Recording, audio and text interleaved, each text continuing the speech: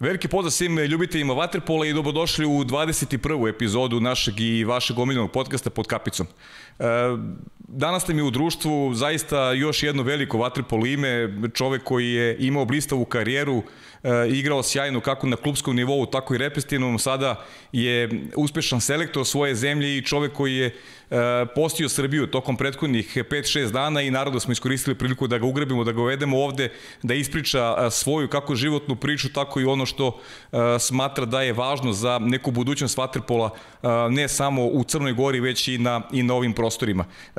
Nema Marine danas ovde, ne brinite sve u redu, već od sledeće podcaste verujem da će biti sa nama, dakle, opravdano Marina odsutna, nemojte da se, da se žalite previše na, na našem YouTube kanalu, a ja moram da onako istaknem veliko zadovoljstvo što je naš gost danas e, Vlado Gojković. Vlado, veliko mi je zadovoljstvo što si, što si odvojio vreme, što si došao u naš studio i za početak pitamo svakog gosta kako se osjećaš u ovom našem ambijentu.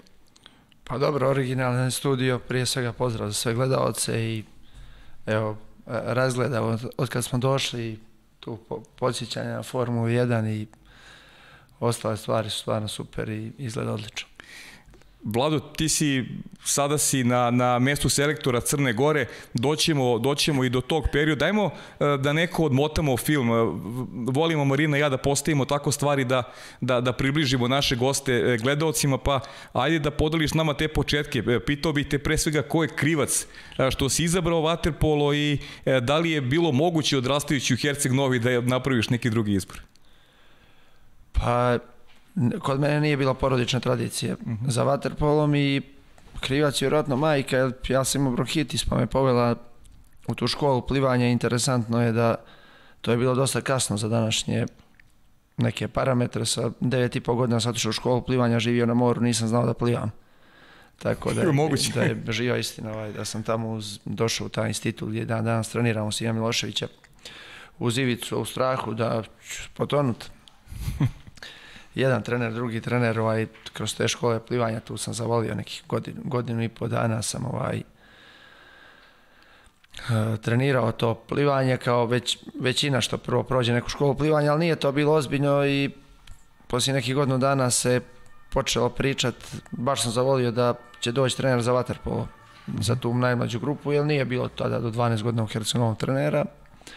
I to smo čuli i slušali tri mjeseca i par nas je, dođemo na bazen, razvučemo pruge za plivanje i zaronimo i odemo na drugu stranu bazena kao uzmemo loptu, šutiramo, neka lopta bi bila. I mislili smo ovaj da nas taj trener ne vidi, mislim djeca što. I poslije tri mjeseca se pojavio trener za vaterpolo, tada Željko Andrić, jedan bivši vaterpolista Jadrana i krenula je ta vaterpolo, vaterpolo priča i eto nije stajala do danas. A kaži mi, il, il sam baš svakog dečaka da postane vaterpolista u Herceg Novom, koliko je kod tebe recimo u osnovnoj školi, u tom recimo razvoju, koliko je bilo dečaka koji, koji je treniralo vaterpolo u to vreme? Možda se setiš toga? Pa nije to tako veliki broj ko što, ko što se tako? misli, iako je u tom periodu bilo više nego danas, ali iz mog razda samo nas troje, četvoro je otišlo, mm -hmm. Otišlo na vaterpolo od nekih 15, 15 dječaka, uopšte iz te generacije, ja mislim cijeli, ja ne znam da je bilo više od 15 u cijelom gradu. Uh -huh. ne, možda, mislim, poređeno sa Beograd i sa ovim velikim centrima sigurno malo, ali to je neki standard da mi nemamo ni dan danas u klubu preko 15 dječaka po godištu. Variramo od 5, 8 do 15 po jednom godištu.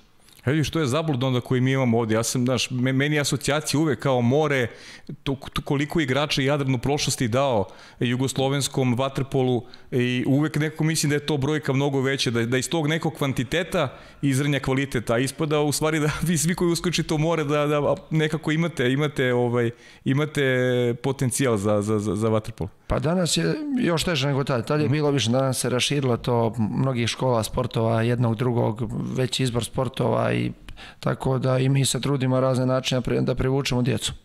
Uh -huh. Kako pamtiš te početke?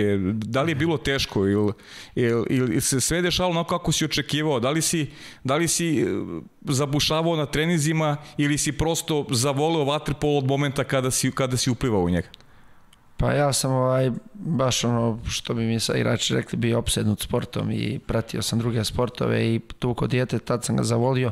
Nije meni vaterpolo bio prvi, prvi sport kojim sam krenuo, ali kad je već krenula ta vaterpolo priča, to kad se pojavio taj trener, to je bilo za godinu dana starije, krenuo sam da igram, tražim neko svoje mjesto, neke zamjene, jer sam bio godinu dana mlađe.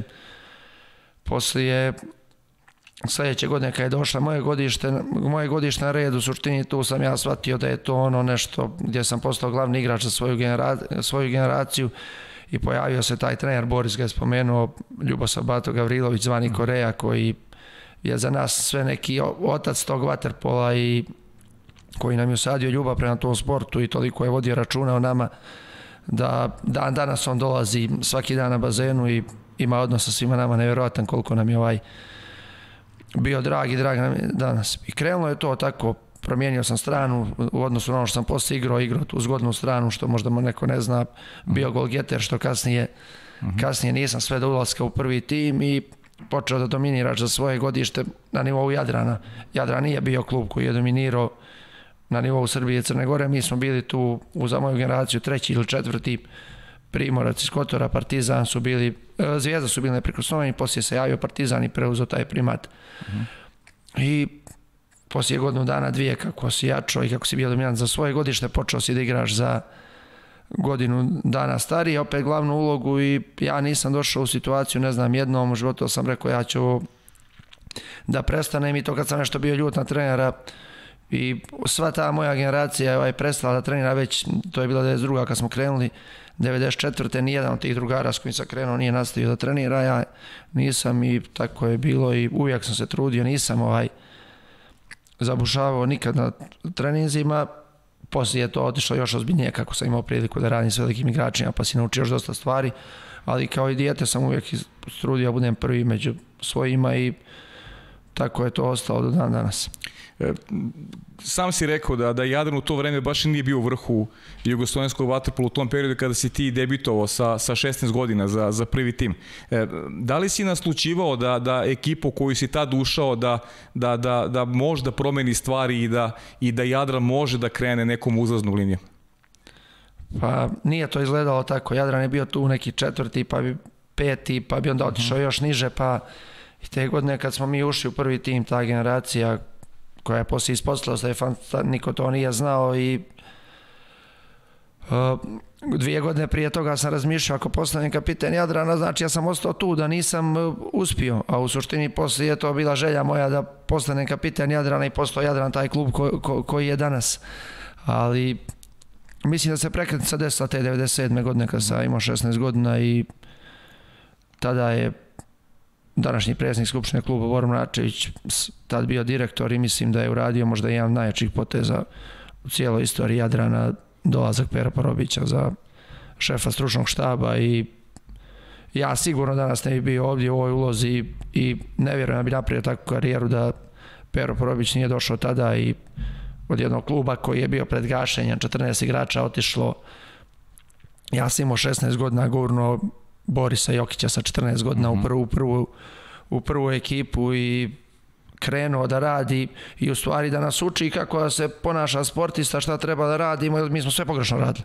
Da. Niti smo znali, igrači sa mora kad dođemo pripremne prestacije su bili ono u onu ruku, da kažeš, indijanci. Mhm. Nisu znali, njima je to bila šala i da, znači to je neki potpuno drugi vid sporta bila od kada se on pojavio i ispravljanje što bi rekli krivih drina i To je bio proces koji je dosta brzo, već za dvije, tri godine isplivo i nazirala se jedna ozbiljna priča. A kad kažeš indijanci žargonski, misliš na neki taktički smisao ili, ili u, u, u opiši mi, opiši malo bolje taj, taj, taj, taj, taj izraz. Pa igrači sa mora su uvijek ovaj, ne mogu reći sve, ja nisam bio, ali manje trenirali. Mi smo Aha. znali doći na te pripremne prestacije potpuno nespremni. Uh mhm. -huh. A u, taktičkom smislu pogotovo, mada je taktike mnogo manje bilo nego danas, jeli igrao se na neki taj, da kažem, feeling, što kažu ovi igrači mora da imaju neki šmek i to i mhm. definitivno uh -huh. imaju, ali ne bi ja rekao da nemaju ni sa kontinenta, uh mhm. -huh. ali i taj, na taj način, jeli nas je bilo dolje jedan igrač po generaciji dominirao i ti si radio šta hoćeš, ti si šutirao kad hoćeš, ti si uh mhm. -huh. sve išlo na tebe. Ako imaš još jednoga, to vas dvojica vodite, ovi, ovi pokrivaju. da, da, jasno, jasno.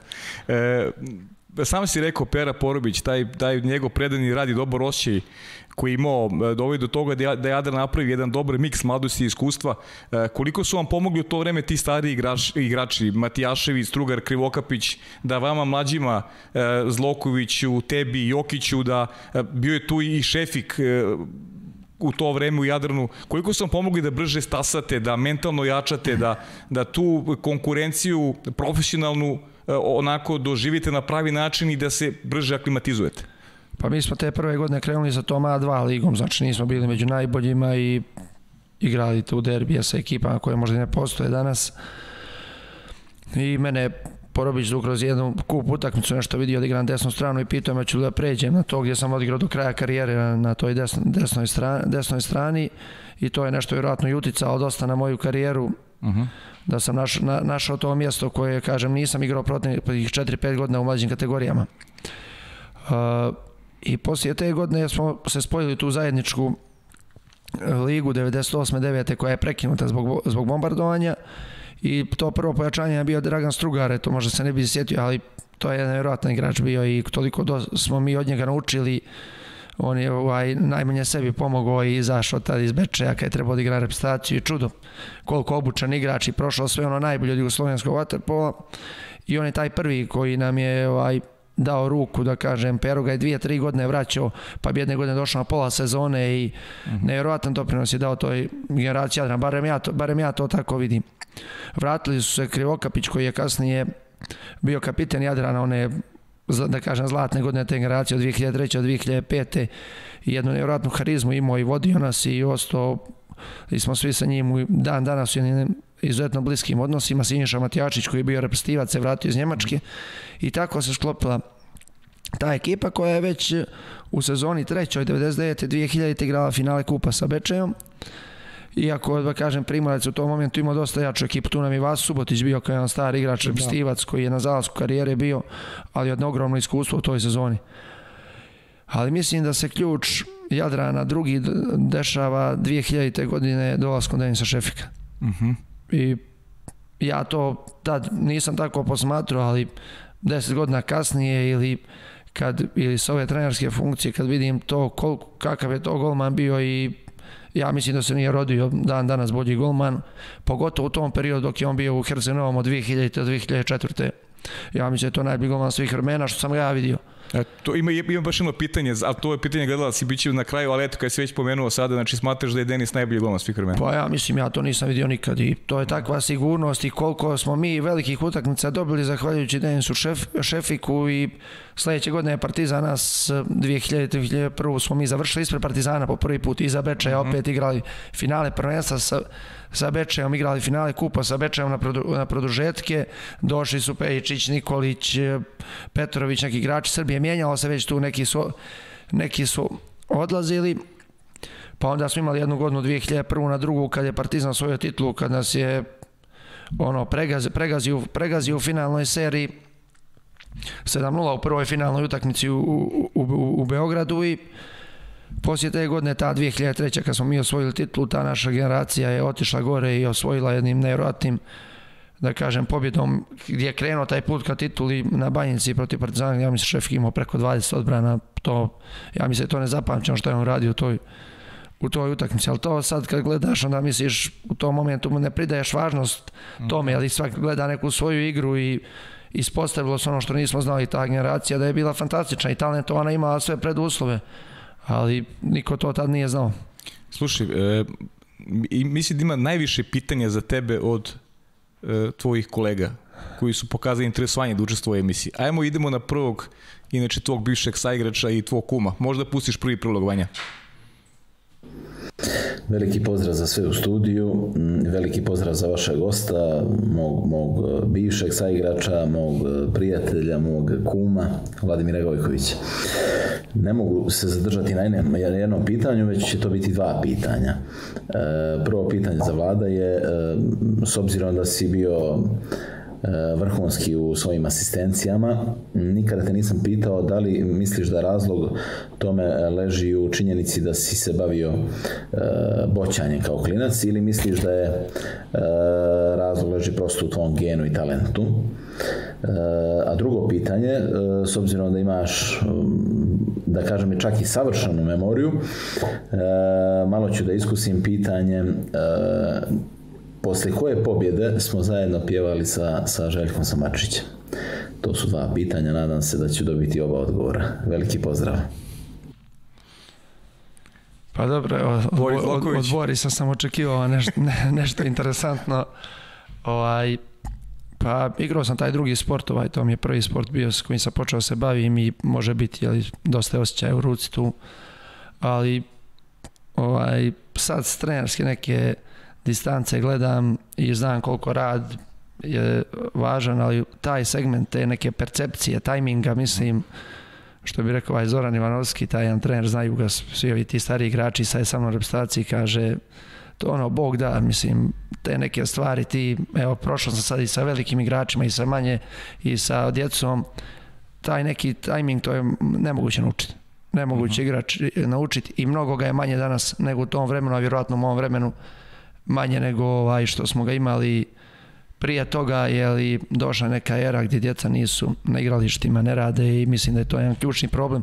Tako da odgovor na Borisovo pitanje ovaj mi je dao sigurno nešto što sam imao urođeno, a... Ali znam da boćeš i dalje. Da, a, ovaj, a sa njim sam sarađivao vjerojatno najbolje s njim mm -hmm. još Ivović je možda tu taj veliki broj, ali -hmm. taj tajming, ali mi smo toliko toga probali sad kad se on javio na treningu i takvih nekih kombinacija koji Pero Porobić je ludi od toga, znači na koji način smo probali da dodamo loptu jedan drugom i možda sam negdje i uskratio nekog drugog igrača, jer su te mhm. oči išli uvijek prema njemu, ali on imao to nešto što malo ko ima. Mm -hmm. A ovo drugo pitanje? Drugo pitanje, ovaj, ne znam, mislim da se ne, ne sjećam se, znam da je poslije prve titule bio riblja čorba u Herceg Novom i to je ono ja imam smo posljednji, zatvorili smo sve tu, sve tu noć i ne znam da li je on pomiješao s tim ili ima ovo drugo i bio je Željko Samadžić jednom Hercegovom, ali ne sjećam se koji je utakmica, ali prva titula sigurno bod Veska Kriokapića gol u Kotoru za prvu titulu Jadrana poslije 44 godine Riblja čorba u Herceg Novom i mi smo zadnji izašli. to, pitaću ga ja, da mi, da mi kaže ovaj, šta je mislio. A kaži mi to boćenje, ili, ili, ili igraš se i dalje, ili pa to je baciš po, neku? Pa sad igra, porodična tradicija, igrali smo i krenuo sam četiri godine i mm. prvo sam se bavio ozbiljno tim, igrao reprezentaciju, išao na takmičenja. Ja, tako? Mm -hmm dok nije Porobić došao i rekao dobro je, ne Mali, nema više Zabo, zaboravi reprezentaciju i nastavi pušta me da igram u klub sve do 2005. taj naš klub je bio prvak Srbije Crne Gore igrao Ligu šampiona iz 99. 2000 i oni 2005. sam prestao skroz da igram nisam više mogao to ljeto kad bi došao ja bi išao na boćanje umjesto na odmor onda sam koristio to za odmor pred klubsku sezonu i pa sam se vratio da igram 2012. kad sam prestao aktivno igram vaterpolo, uh mhm. -huh. dvije, tri godine, pa sam opet prestao kad je ovaj uh, selektorski posao došao i sad sam igrao ovo ljeto ovu ligu, ali da se razumijemo, to do 2005. ja sam igrao i trenirao to na način koji sam trenirao vaterpolo kad ima vremena,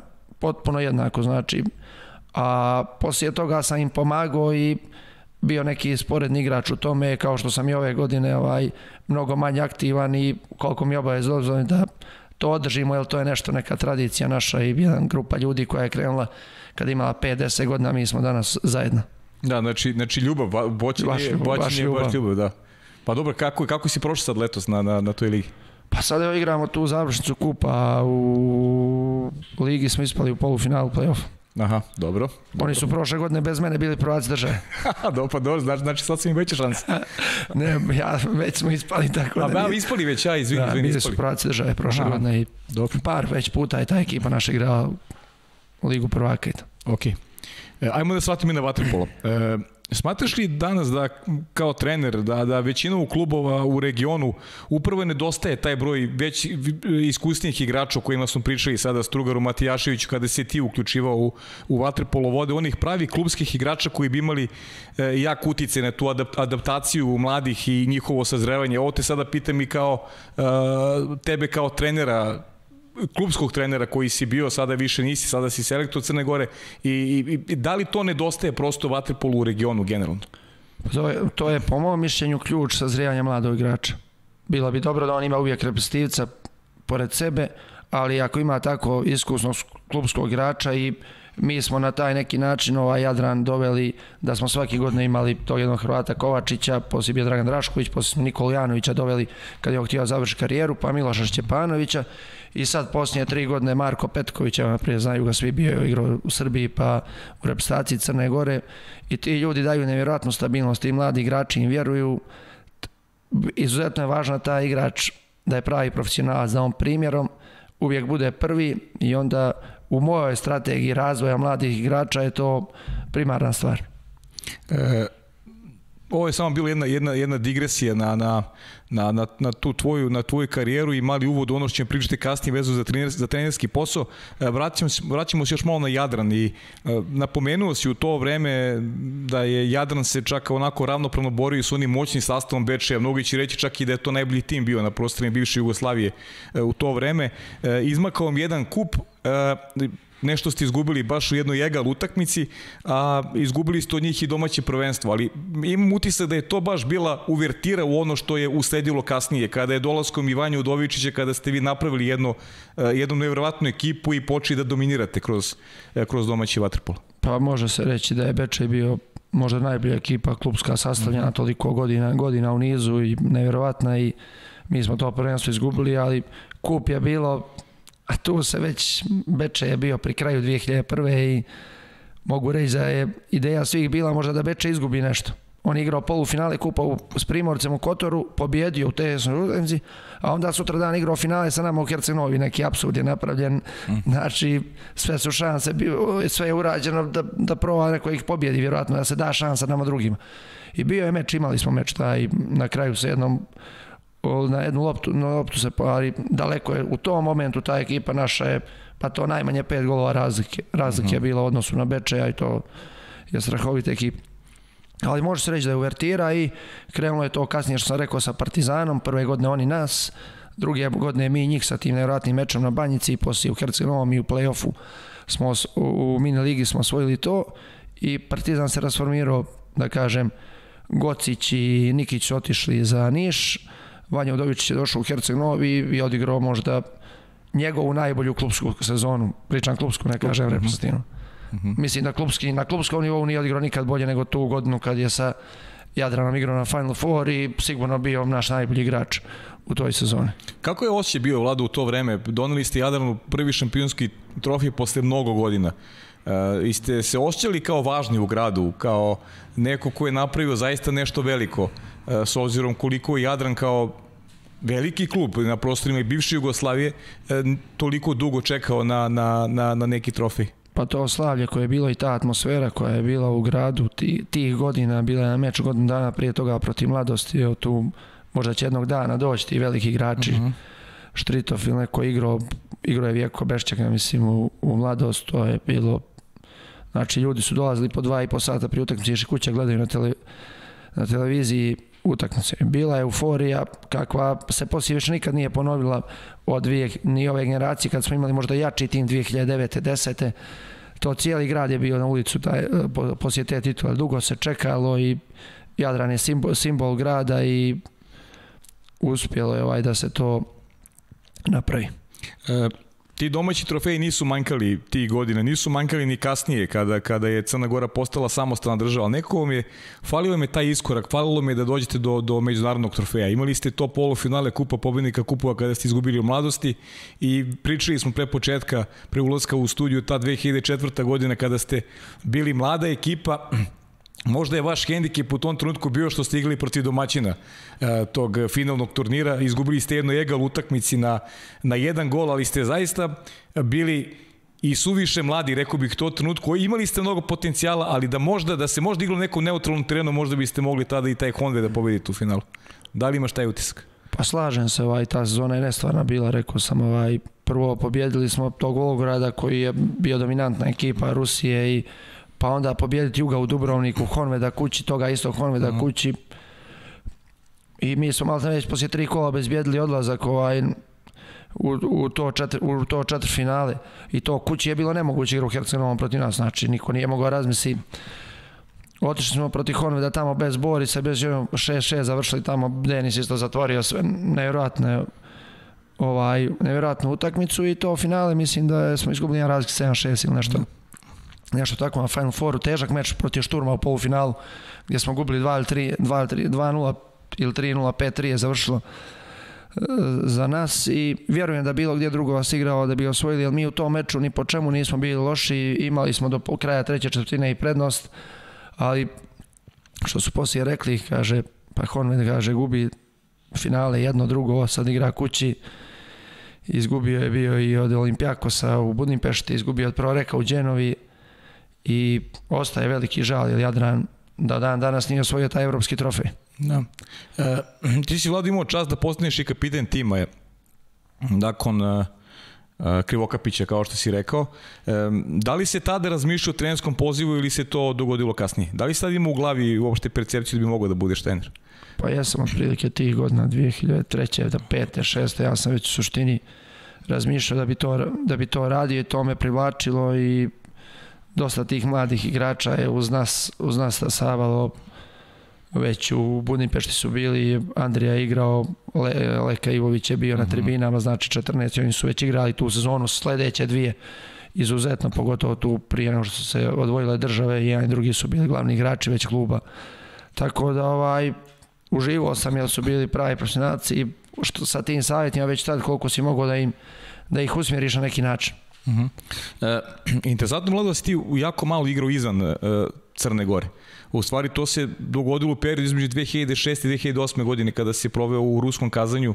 Igrao si tada sa, sa Dekin Savićem i sa, i sa Dačom Kodinovićem. Osvojili ste prvenstvo i osvojili ste kup plen, ono što je interesantno koji ispostavit će se kada si e, sublimirao učinjenu klubskoj karijeri da ti je to jedini međunarodni klubski trofej. Kako, kako, te, kako pamtiš taj period?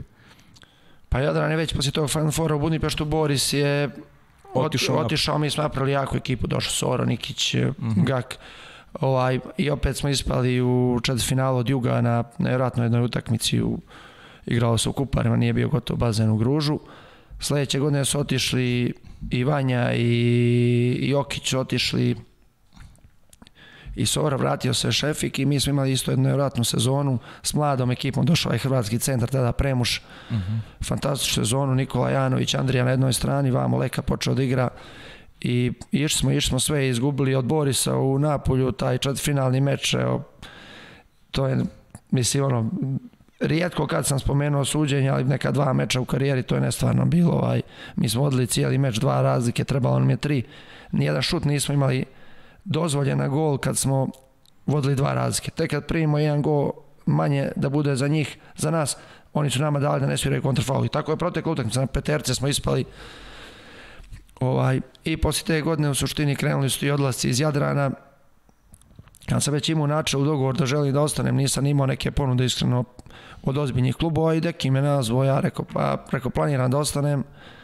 Kaže on, ajde molim te mali, kaže samo ovaj, popričaj sa, ti, sa, sa tim ljudima, kaže Dača dolazi i ono, kontaktirao sam s kazanjem neke nenormalna ponuda za mene u tom momentu. Mm -hmm.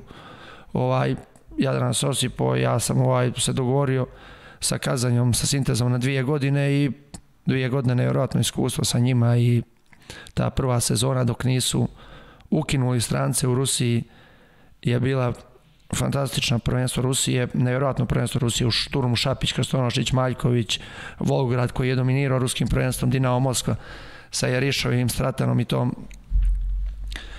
ekipom i taj period u Rusiji, da kažem, je puno meni pomogao i puno me uzdigao, uzdigao kao igrač. Uh -huh. e, Boris, koga smo čuli malo prije ovde, baš ispričao Marini meni lepe anegdote iz Napulja i sad je onaj Marinin deo koji je ona pripremala, ne mogu to ovaj, da, da zanemari nikako e, te, te razglinice e, svih vas koji ste zaista prošli svašta kroz karijere, svašta toga i dobrog pre svega zadužili ovaj sport na ovim prostorima, pa aj mi ovako, ako imaš nečega se setiš specifično šta te vezuje za taj kazan, ako možda podeliš sa nama. Šta ti je prva asocijacija recimo na to vreme provedeno u kazanju? Pa šta znam, ja sam stvarno, kad vratim iz ove ugla, bilo je, bilo je fantastično. U tom prvom momentu kad smo otišli, to je bilo, ja ne znam što kaže, ja, on, igrao se Evropsko u Beogradu uh mhm. -huh. i odlučilo se da ne igramo zajedno, iako su svi sportovi ostali nastupali zajedno te 2006.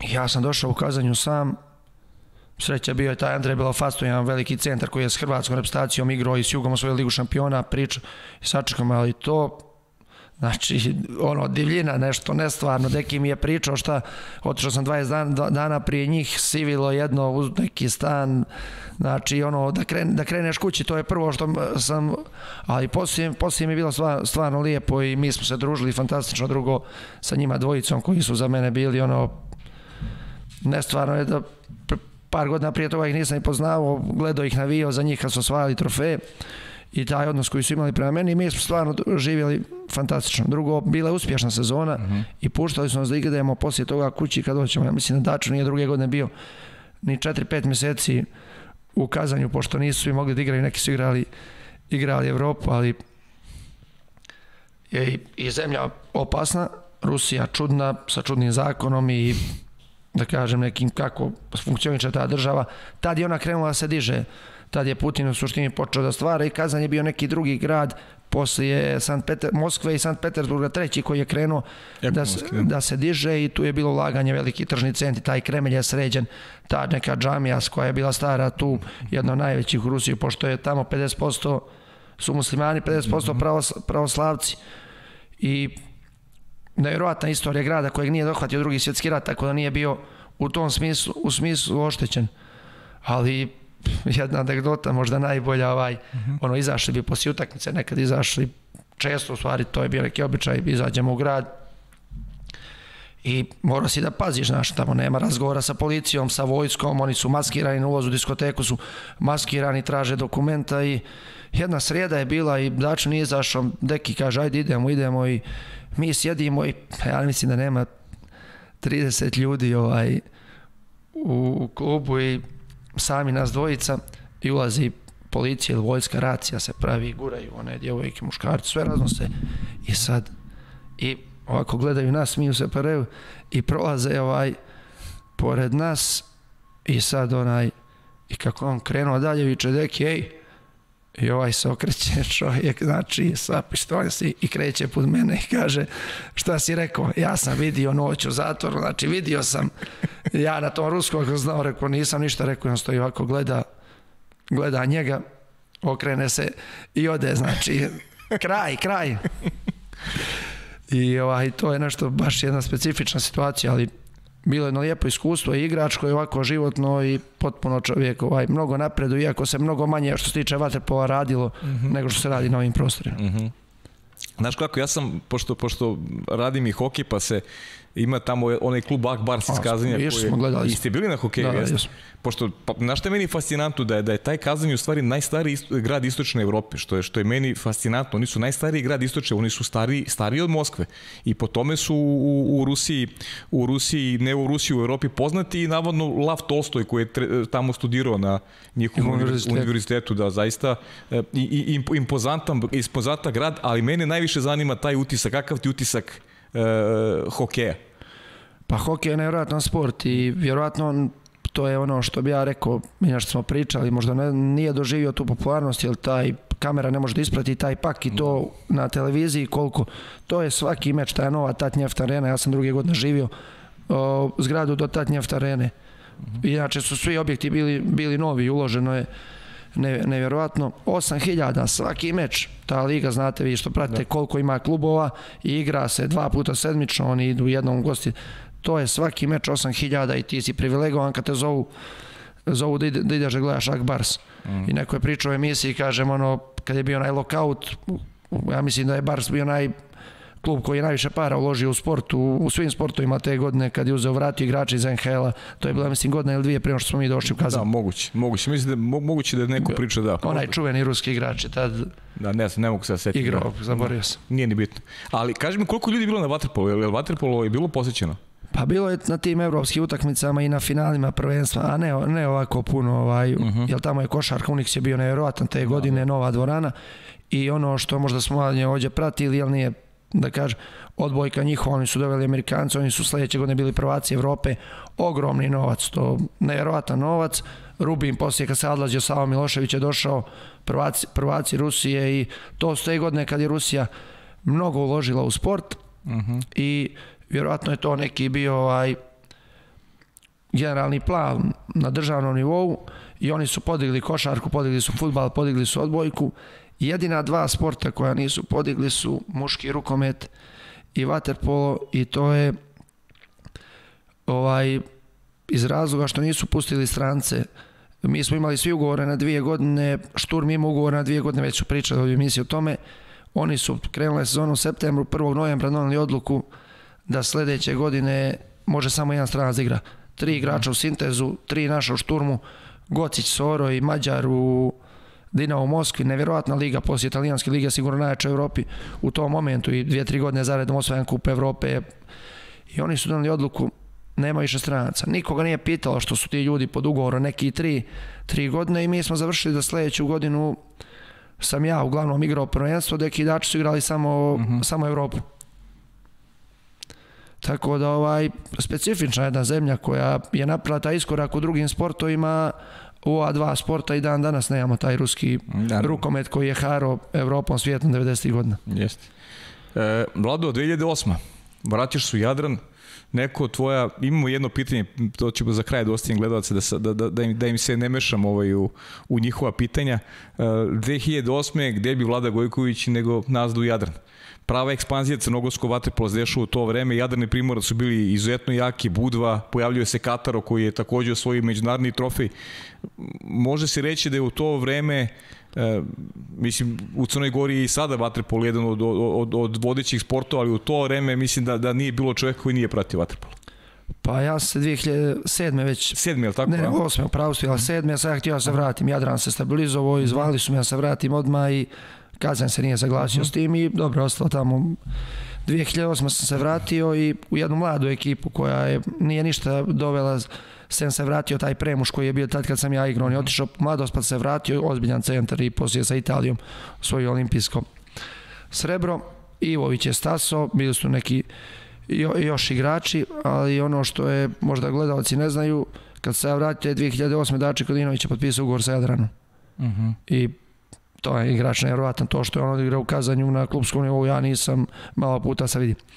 I bio je on dio tog projekta koji je trebao da nas da krenemo u novi iskorak pa Evropi desila se nesjeća Dačo je prekinuo karijeru prije Malage 2008. i to mi je sigurno žao što se to nije desilo imali smo vrhunsku saradnju u igri u u klubu u Rusiji i mislim da bi to bilo, on je bio u najboljim godinama to svojoj poziciji, jedan najboljih igrača svijeta ja se vratio, bila mi je želja da se vratim i bila mi je želja da vezan se za taj klub, baš sam vezan ovaj, da probamo da napravimo to. I imali smo tu jednu godinu odličnu. Za jedan gol smo ispali sa Final Four Liga šampiona i Primorac ga je osvojio iz Kotora, ali mlada ekipa Ivović, Saša Radović, od tih poznatih igrača, Premuš i Miloš Čepanović koji u tom momentu već poslije Malage postao golman za što ni mi sami nismo znali do tog momenta da će biti jedan golman koji je narednih 10 godina možda pa sad ne znam, uz Pavića imao kontinuitet najveći na, uh mhm. -huh. na svijetu se ispostavila u tom momentu, mi to nismo znali Jadran je čak doveo Perčinića, dobro golmana Hrvatskog kojeg je računao da će možda biti prvi golman tada i dobra ekipa, dobra atmosfera nismo uspjeli te godine, osvojili smo prvenstvo Crne Gore koje je bilo kao što ste rekli izuzetno jako Budva, Primorac, Kataro i za jedan bod smo izgubili od prvu regionalnu ligu od Juga. Uh mhm. -huh. Pobjedili smo ih u Dubravniku, u Herceg smo igrali neriješeno, i, ali su oni pobjedili u Kotoru, mi nismo i osvojili su regionalnu ligu. Sledeće godine devetu na desetu Jadran pravi taj što su rekli Dream Team i uh mhm. -huh. poslije osvajanja prije uh, reprezentacije svjetske lige se vraćaju Nikola Janović, Boris i Predrag Jokić i pravi se ekipa koja je po imenima bila ostalo je tu jedan dio igrača, svi ovi najbolji su ostali, samo je Premuš nije ostao kao centar jer je Boris došao i to je bilo ovaj, fantastična ekipa reprezentacija Crne Gore koja je tih godinu dana dominirala Evropom. Ali nismo se složili i s moje lične strane moja sezona koju sam najlošije odigrao od svih profesionalnih sezona, ali baš smo slabo funkcionisali i jedna sezona koja na kraju je smo izvukli na jedan kvalitet ogromni individualni došao Ivica Tucak na pola sezone krenulo se bolje igrati ovaj selektor Hrvatske da. I ispali smo opet od Primorca, ali ubjedljivo ovaj put u četvrtfinalu Lige šampiona, baš ubjedljivo. I 20 dana posle toga smo mi došli, da kažem sebi, i pobjedili njih u polufinalu regionalne lige, pobjedili Juga u Dubrovniku na produžetke u finalu regionalne lige, što je baš bila da nevjerojatna utakmica ovaj Ivović koji je dominirao to i mečom, i pobjedili Primorca u finalnoj seriji 3-0 u jednom finalu koje je na nivou onih talijanskih finala o kojima se pričalo ovdje, u jednoj utakmici u Kotoru drugoj gdje smo gubili 6-1 na pola i to mi je za mene kao trenera ostalo nešto što ja ne bi kao trener mogao nikad biti, ima takvu mirnoću 6-1, mi gubimo, dobili smo prvi meč u Herceg-Novom 2009. 10. i gubimo 6-1 u Kotoru poslije druge četvrtine. Znači, pregaže. I Tuca govori, kaže, dobro je, kaže, igrate odlično, samo nastavite ovo raditi. To je sve bilo između druge i treće. I mi dobijamo meč 8-6 na tom nivou dvije najjače, dvije od da. pet najjačih ekipa Evrope.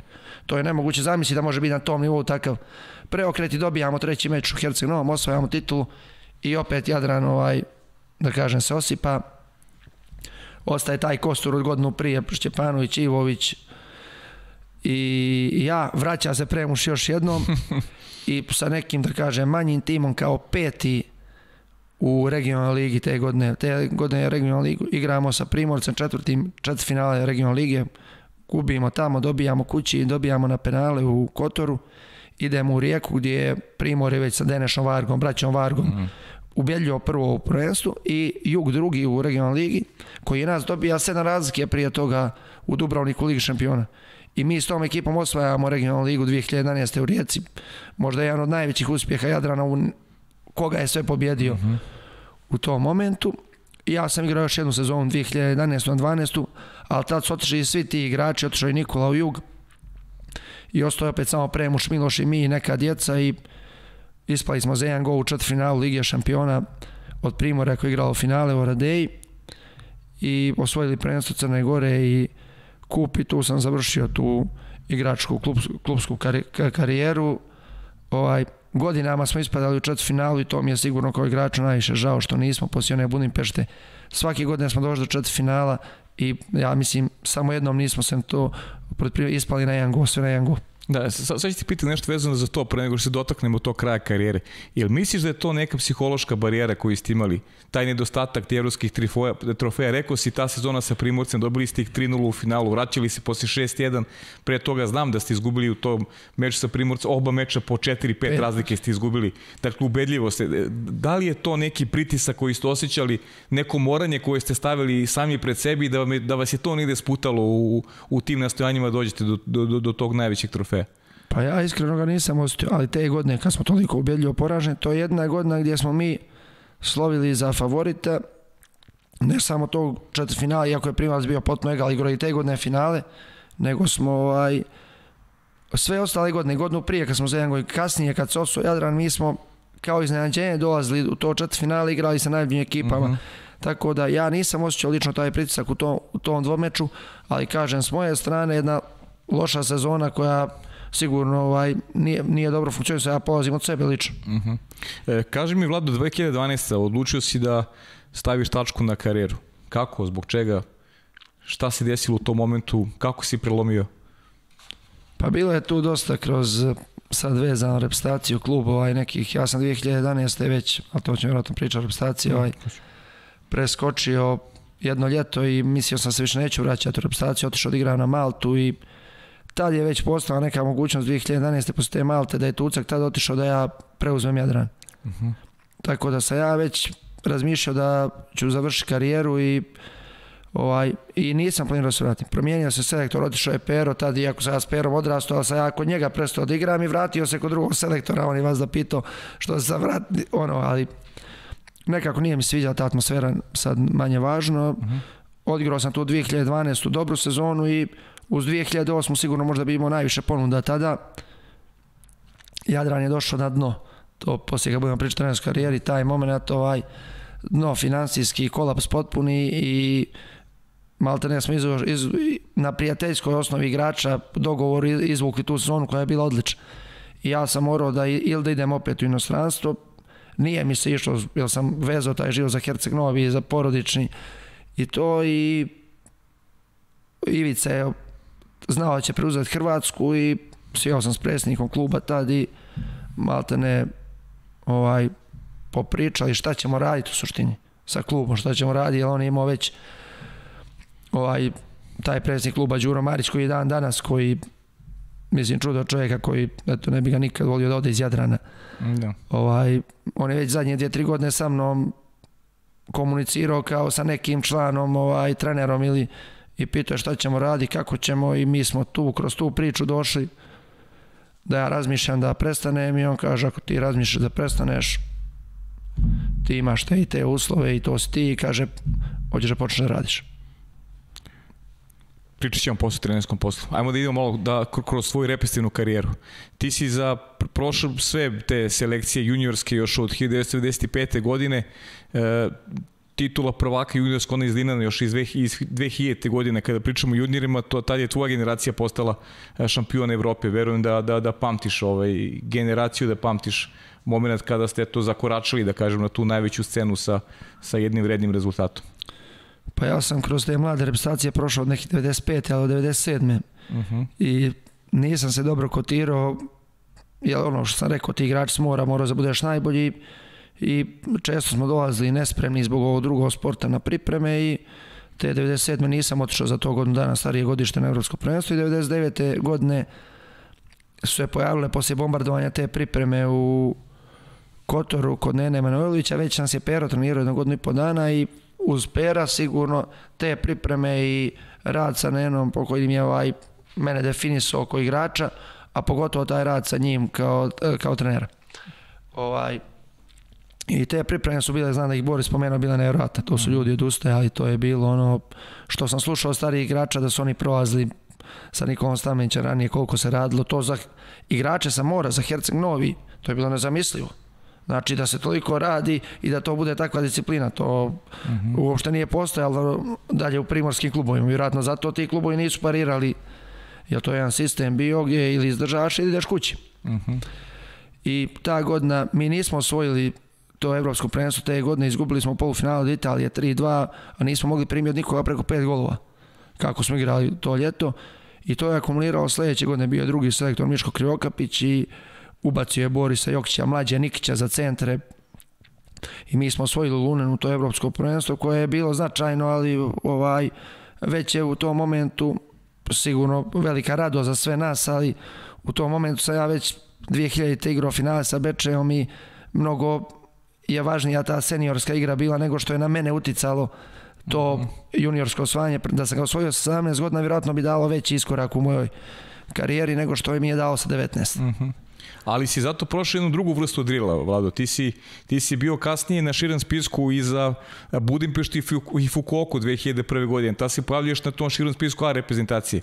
E, kakav je osjećaj kad treniraš sa ekipom uh, i onda dođe da ta završna faza treba da si na takmičenje, a tebe nema to, na tom spisku. Šta je tada u, u glavi mladog igrača? Pa ja sam već te 2000. godine, da kažem, mogu reći da se postao profesionalac, da više nije bilo toga, poslije tog ljeta sa Nenom Manojlovićem, da više nije bilo toga da je nama nešto čudno. Uh mhm. -huh. Ti si da radiš, da radiš svaki dan najbolje što možeš i te 2001. taj poziv da odemo, mislim da smo otišli na pripremi. Bili smo mi na neki turnir u Nici gdje su bili samo igrači Beče, a i mi, ali igrači Beče, a njih sedam repstivaca. Uh -huh. I to je neki moj prvi dodir sa Šapić, Vasović, jel, Vukanić, da sad Čirić, da ne zaboravim nekoga. Onda su oni otišli na Final Four u Dubrovniku, a mi smo nas sedam otišli sa ovim ostalim igračima, mislim Vujas, Deki, Dača, Šefik, Viktor tamo u Atinu na pripreme sa Grcima dok su oni na Final Fouru. I tih 7 dana to je za mene bilo ovaj, nešto najljepše što mi se desilo, jer ja sam njih gledao i navijao za njih godinu dana prije toga i to mi je dan danas ostalo i upečatljivo ti si došao tamo i samo si čuto radio i odgovaraš kad te pitaju nešto. Neverovatno prihvaćeni od njih i dan danas u takvim relacijama i kakvi su to ljudi i osobe prema nama, pogotovo igrači koliko sam naučio u svakom smislu i ljudskom i igračkom, pogotovo jer si gledao svaki dan i ne može napreduješ. Mi smo bili 7 dana u Atini, dovratili su ovi su se priključili iz Bečeja i oni su nas već tad, ja znao sam da ja da neću igra budni, pošto nije to bilo ni u priči, otišli smo na par dana sa njima svima u Bečeju, tu su bili kompletni. To je da kažem prvi moj dodir sa tim veličinama tada koji je za mene bilo neko ostvarenje sna sigurno, što nisam ima što možda pola godine prije toga da ću, biti da ću biti tu. To je bilo 15 dana prije Budipešte i skraćen je spisak nas 3-4 mlađa smo pošli kući bio među vremenu neki turnir u Sloveniji gdje su isto išli igrači iz Crne Gore, znam da je Viktor išao, jer on igrao tad u, iz Jugoslavije, igrao u Primorcu. Uh mhm. -huh. I to je to. Znači, te 2001. nisam imao neku šansu, 2002. sam, da kažem, dobio pravu šansu pred, pred Fina Kup u Beogradu. Cijelo ljeto sam bio sa reprezentacijom od turnira u Rimu, isto je bio u Nici turnir u Martu i igrao dobro, igrao tad kod tog selektora u prvoj postavi sve te pripreme, oni su stari igrači, su imali neke odmore, svako 15 dana jedan mogu da ode, pošto je bilo dugo ljeto i samo je bio Fina Kup. I ispao sam eh, pred eh, pred Beograd 3-4 dana prije Beograda ostali smo tu svi da gledamo, ali nisam igrao i mislim da sam to ljeto zasluživao da igram, ja sam igrao imao nevjerojatno ljeto i -hmm. ovaj i ali to su neke stvari koje se poklope, ne poklope, poslije sam igrao kraj 2003. ovaj Ajmo kranje, možemo pričamo o kranju. U stvari, tvoje neko vatreno krštenje baš je bilo vatreno u svakom smislu. I, i zlato i sve oni prateći efekti, ali nezaborno svakako. Pa to ja, je prva zlatna medalja koju si osvojio. Taj moj ulazak tu u kranj i tu su neki igrači o, više nisu igrali poslije Fina Kup, Skoković čak ne znam je li igrao Fina Kup, nije, ali upojevanje za Fina Kup i Boris. A vamo smo došli još Boris, ovaj Peđa Nikić i Jok, Peđa Jokić Nikić i ja za Kranj ali bila je specifična situacija, ja sam upao tu ekipu, bila je priprema Americi i, i trenirali smo, igrali smo Jadran prvak i već to ozbiljan nivo vaterpola, što ja tad nisam bio svjesan da ja mogu da igram s tim igračima, ja sam uvijek uh -huh. se mhm. postavljao da su oni bolji od mene u tom momentu. Ali treneri su to prepoznali i neke specifičnosti koje ja pa mi smo u kraju došli, ja sam imao do, dobru minutažu. Uh, Petar nije igrao, Trbojević, nevjerojatan igrač na mojoj poziciji, to mjesto imao je uh, koksaki virus ili nešto i to je otvorilo to mjesto za menja i Gocića u tom momentu. Gocić je i ja i on smo igrali od početka turnira, došao je meč četiri finala, Dačo se vraća koji je bio povrijeđen, imalo je pravo promjene i bilo je pitanje, znalo se to, nije mene niko trebao reći, da li ostajem ja ili Živko u 13. Mm -hmm. Uh, ja sam odigrao fantastično meč sa Rusima, on je odigrao bolje od mene meč sa Mađarima i I ja sam ostao tad i ta moja karijera otišla gore u odnosu na njegova koja se tek razvila kad se Srbija. Ja pretpostavljam da je Pero Probić tu imao kao pomoćni trener tu ulogu da, ovaj, da ja igram. Jer ranije kroz mlađe kategorije uvijek je Nena vjerovao više Žiletu. Uh mhm. -huh. I ja to tek sam postao trener sam shvatio koliko ti tom igraču koga treniraš u klubu, koliko taj drugi treba da bude bolji da bi ti u ključnim momentima Jasne. njemu vjerovao. U tom momentu sam bio ljut. Ja sam igrao vaterpolo, imao sam podršku tih igrača i neđe kad sam s Perom Porobićem poslije 4-5 godina, iz tog razgovora sa ključu kaže on, sjećaš se, ali u kranje sve došlo na svoje, ti si dobio minutažu, odigrao i odigrao je odlično evropsko prvenstvo tad. A ja ga pitam, Pero, a 2002. jesam sam ja igrao tri četvrtine po priprema bio najbolji tu od svih mladih igrača bez E, kaže, ali ne može to tek tako, kaže, mora, mora da se čeka i sve, do, sve dođe, ali ono, mm. tako su neke stvari, se možda i naprijed odluče, sve to znamo mi iz nekeg, ali taj kran je sigurno za mene reprezentativno, uz Malagu koja je poslije imala svoje specifičnosti, ali neka nova takmičenje sa tim igračima, igrati i učiti od njih i malta ne živjeti sa njima toliko vremena, tri mjeseca je za mene bilo neko ostvarenje vaterpo, kompletnog vaterposna. Vanja, ajmo na, ajmo na drugi, na drugi prilog. Zdravo drugari, pozdrav svima. E, imao bih dva pitanja za tebe, Vlado. Prvo pitanje bilo bi namenjeno tebi kao igraču, a glasilo bih koji, sa kojim igračem si najviše voleo da igraš i najbolje sarađivao, a da to nije Boris Loković. A drugo pitanje bi bilo za tebe kao kao Vladimira Gojkovića, selektora Crne Gore i trenera, e, da napraviš paralelu, odnosno da izvojiš neke najbitnije, najznačajnije, da kažemo, razlike između e, takozvanih primorskih igrača i igrača iz kontinenta. Eto, toliko. Pozdrav svima još jednom. Hvala i Žiletu Gociću na... Dobro, Žile, odgovori odmah na to prvo pitanje to je, mislim, jasno, znao se tu sa Borisom, ali da. na klubskom nivou je je lakše to suditi zato što to traje dugo, 9 mjeseci ponavljaju sezone i sa nekim se mnogo više upoznaš. Sigurno poslije Borisa sa Ivovićem i s njim tih 2 dvije, tri godine u Herceg Novom i kasnije dio repstaciji, jedna nevjerojatna saradnja. A drugi igrač s kojim sam igrao klubsku sezonu nevjerojatno je Dalnoj Kodinović u Kazanju i takav igrač, ja ne znam to kako, kako je on igrao na klubskom nivou, ne u reprezentativnom, opet kažem za repres nivo, to su drugi neke, neka moja viđenja kako je ko igrao, ali klubski nivo taj gdje ti s igrači se upoznaš i malte ne žmureći ti igraš sa njim i u ključnim momentima sve te lopte znajući ja dodavao te lopte idu, idu, idu na ta mjesta jeli ti si siguran da je ta završnica perfektna tako osim Borisa to su ta dva igrača ovaj na, klub, na klubskom nivou i izuzetno dobru saradnju ovaj sam imao i par godina Jadranom sa Janovićem, ali kažem Boris, ovaj, poslije Borisa, sigurno Ivović najviše. Uh mhm. -huh. I ovo drugo pitanje?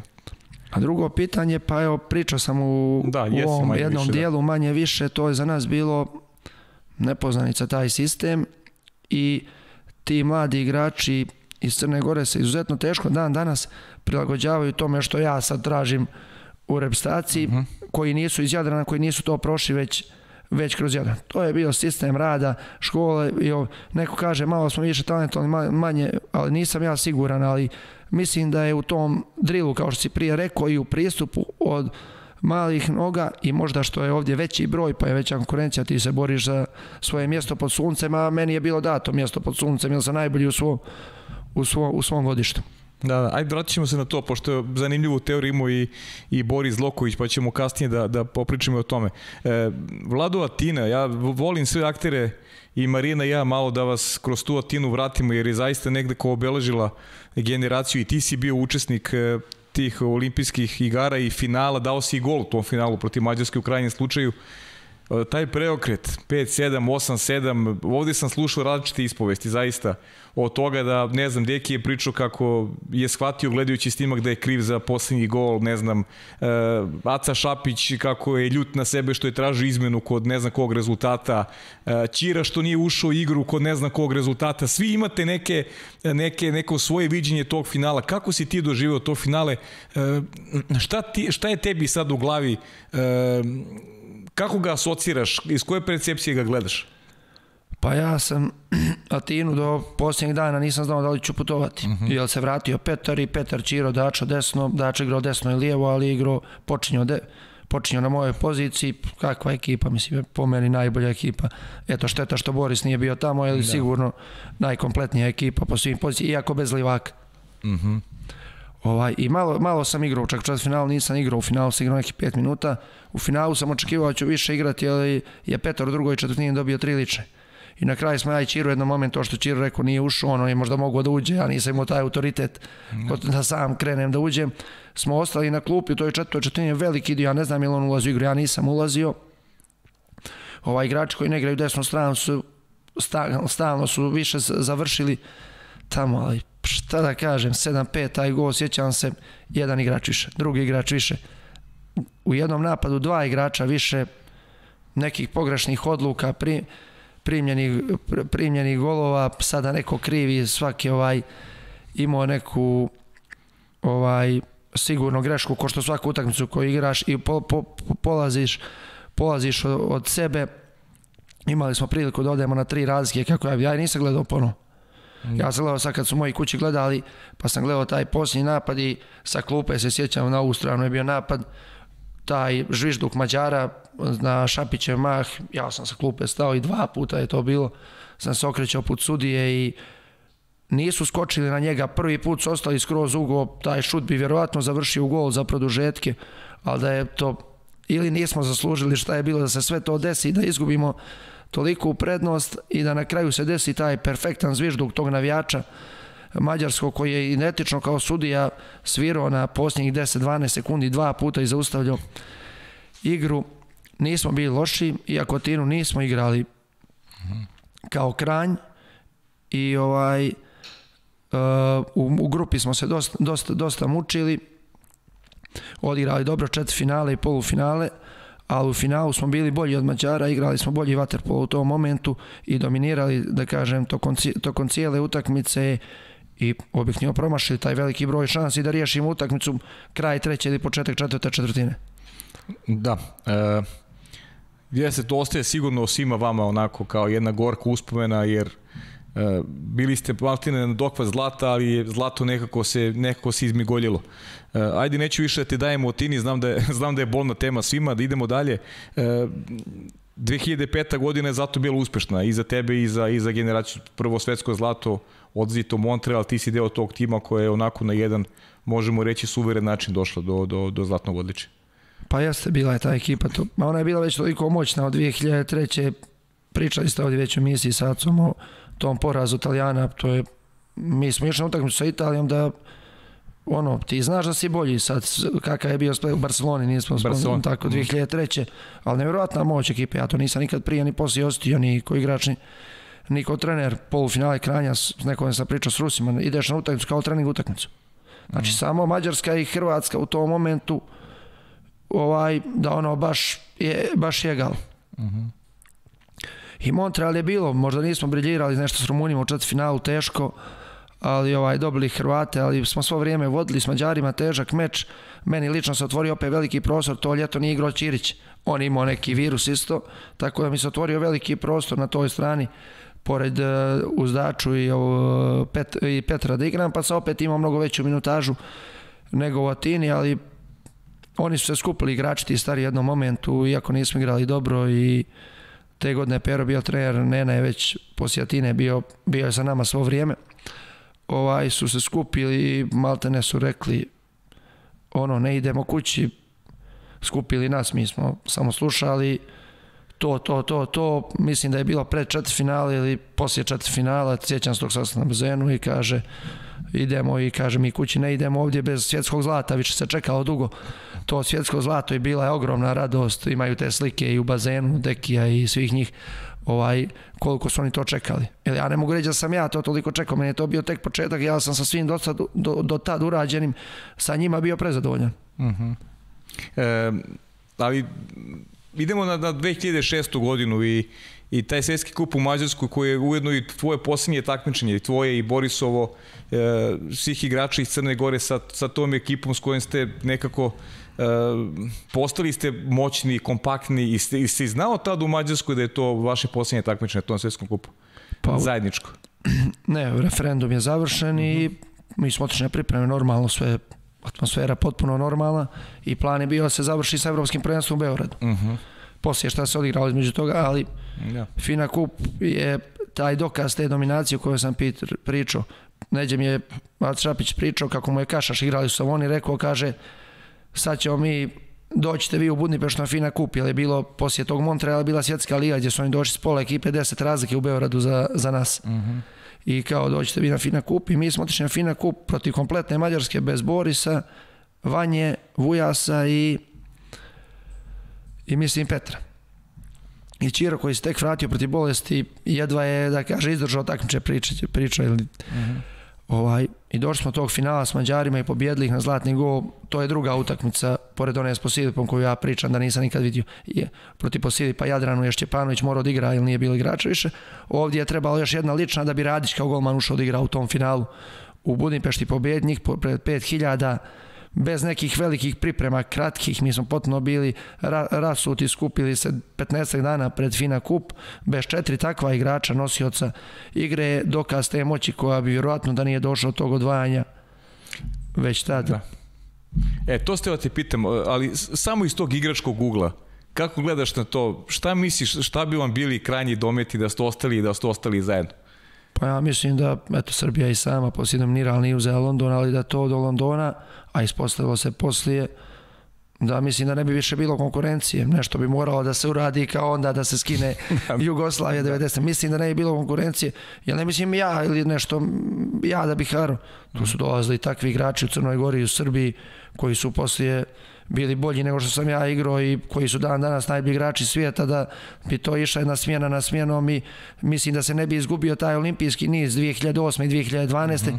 da bi to bilo da bi to bilo osvojeno nastavilo bi se samo i pitanje, vjerovatno bi se izgubilo neko takmičenje, ali sumnjam da bi se više pustila ta olimpijada sa takvom snagom. Da, da. Ali došlo je neizbježno do, do, do tog razdvajanja i dolazimo do te 2008. godine i, i eto, kako život to već namešta, 2008. godine Evropsko prvenstvo u Malagi, e, veliko finale, s jedne strane Srbija, s druge strane Crna Gora, bi do jučerašnji saigrič jedni protiv drugih. Ja iskreno ti kažem, malo je ko očekivao da može dođe do tog velikog finala, ali ispostavio se da, eto, da ste napravili dve velike ekipe i kakav je osjećaj Vlado bio igrati, tu nema nepoznanica, vi se znate jako dobro, igrate za veliki ulog, šta o takim utakmicama odlučuju, kakve su emocije, kako, si, kako ti pamtiš taj meč koji je na kraju rešeno u produžecima velikom pobedom Crne Gore?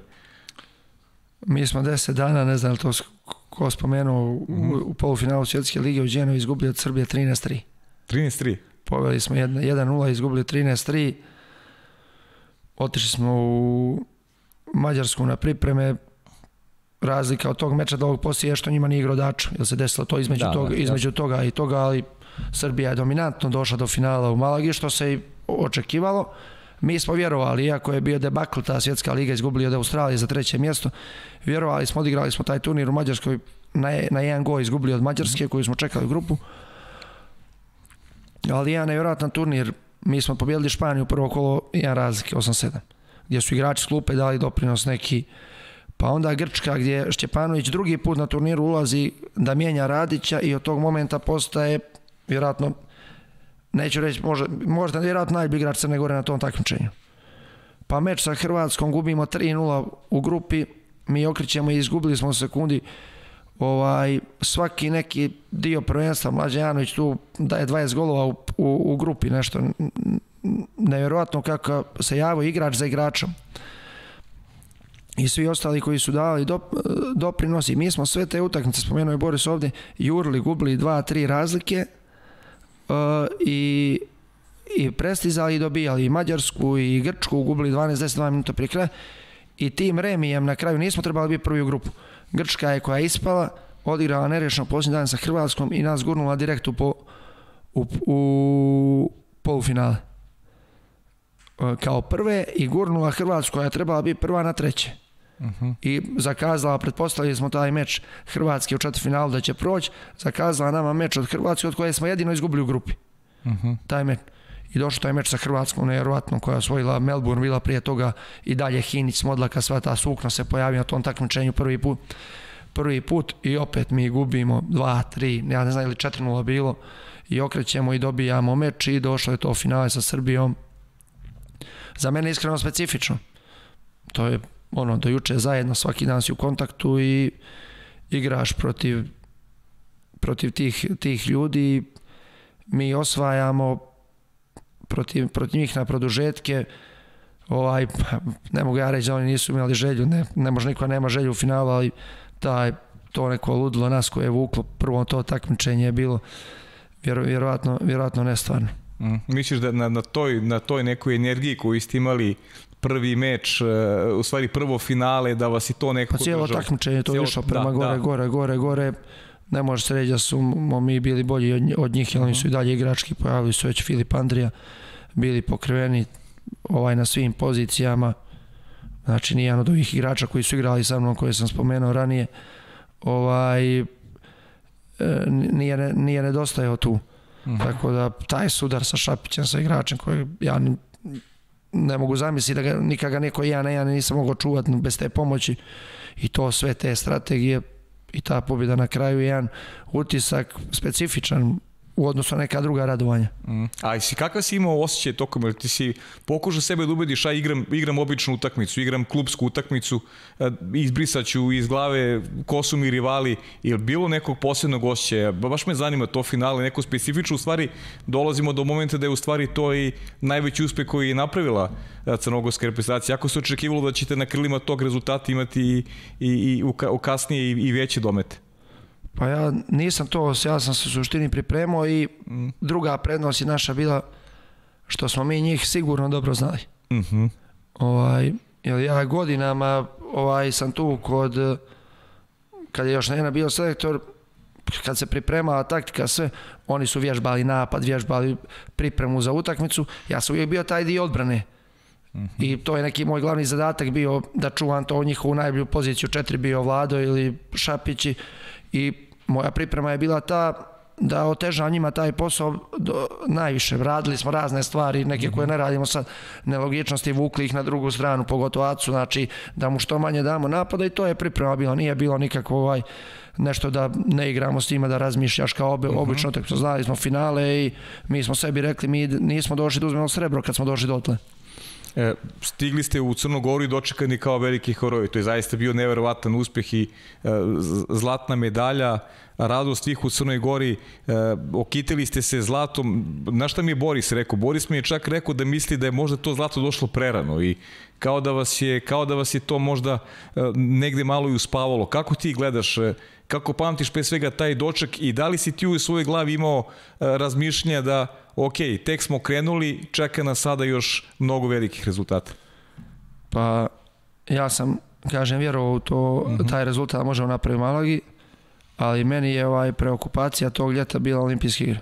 Uh mhm. -huh. Ja iskreno, znači nisam ovaj slavio tu Malagu na neki način koji sam slavio neke titule sa Jadranom i to, mi smo poslije 37 dana su taj doček nevjerojatan to, ja ne znam da se to može ponoviti toliki broj ljudi i taka euforija u, u državi, to teško da se ikad može više ponoviti. Ja, mi smo otišli u Maribor na pripreme i ja znam da je meni taj Maribor bio ključni da se pripremim što bolje za olimpijske igre i mene je iskreno u tom momentu samo to ovaj, interesovalo i mislim da me nimalo nije poremetilo to Boris je pričao tu da je poremetio i mislim da je poremetio dosta sve ta euforija i to da je poremetilo. Mene lično, kažem, potpuno sam bio fokusiran i kažem, malte ne mogu pričati uopšte o Slaviju, niti, niti ga pamti nešto sem tog jednog, prvog dana kada je to došlo. Uh mhm. -huh. E, igrali ste Vlado, kasnije se sudbina se, eto, sudbina namešta, tako, život namešta da ste e, imali kasnije još tri važne duele koje ste odigrali sa, e, sa Srbijom. Igrali ste u velikom finalu Evropskog prvenstva u Eindhovenu i igrali ste tu ta dva meča za bronzanu medalju u 2008. i 2012.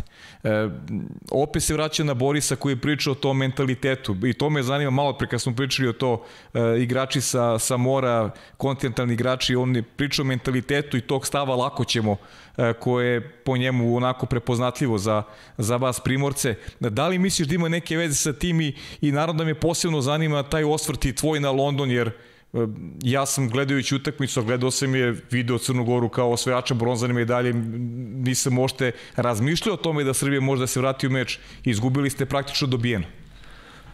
Pa prvo Peking za mene sigurno najveći poraz u karijeri je poraz u polufinalu, uh mhm. -huh. poslije Budimpešte s Jadranom polufinalu, od Mađarske možda i veći od onog Vatine, jeli uh mhm. -huh. mi smo Mađare ono, gazili toj utakmici polufinala i očekivali meč sa Srbijom u finalu. Uh mhm. -huh. Jer Srbija igrala sa Amerikom polufinala.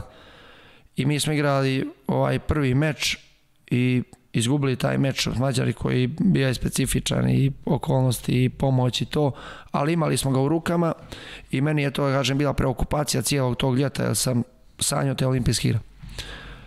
I došao je meč Srbije, izgubili smo, šta se dešava, mi na tribina, a poslije Srbija gubi meč od Amerike, ono, absurd svih absurda, da. ni mi u finalu, ni oni u finalu. Idemo njih za treće mjesto i desilo se da su oni oslabljeni igrali za treće mjesto. Ja se ugasio potpuno i to sebi zamjeram kao najveću grešku igračku karijeru. Ja sam rekao igraću, ima neki problema tada, povredi to, igraću, mogu igrati sve to. Kad smo mi skočili u bazu za treće mjesto, ja sam potpuno izdušen čovjek bio, znači nikad se lošije nisam osjećao nego u toj utakmici. Srbija, pored svih tih problema, jednu dodatnu energiju dobila i potpuno zasluženo. Imali smo jednu šansu za povratak, poništen naš jedan gol, baš sa ja bio u situaciji, svira na 2 metra, potpuno regularna, kažem opravdano poništen za 5-3 i nismo uspjeli da se vratimo do kraja i s ovo je distance i već poslije 2-3 godine sam ja vidio kolika je to greška u tome što nisam napravio dovoljan pristup, ono, sebe pripremio za tu utakmicu. Uh -huh. Sa moje strane priča. Uh -huh. Ali ne, sa drugi igrači su sigurno bili pripremljeni i dali sve od sebe, ali vjerovatno se to sve poremetilo. Eindhoven 2012. isto specifično u grupi smo ih dobili, jer smo visili da ih nismo dobili, njima nije trebalo Srbiji, ispali bi, ne bi ušli četiri finale i onda odličan meč s Mađarima i sa Srbijom Vanja daje gol za pobjedu u meč koji mi vodimo i koji u nekim ključnim momentima ne koristimo šanse bez Borisa sa jednim centrom, ali fantastična igra naša, odlično takmičenje. Ovaj, I mislim da smo tu ovaj, najviše zaslužili uz London da dobijemo tu Srbiju. Uh -huh. Jer smo izgubili u Zagrebu prije toga u četvrtfinalu meč isto nema razlike. Sve je bilo nema razlike. Nema razlike, da. Ali onda ne znam šta kaže. Nisam ga gledao. Mm.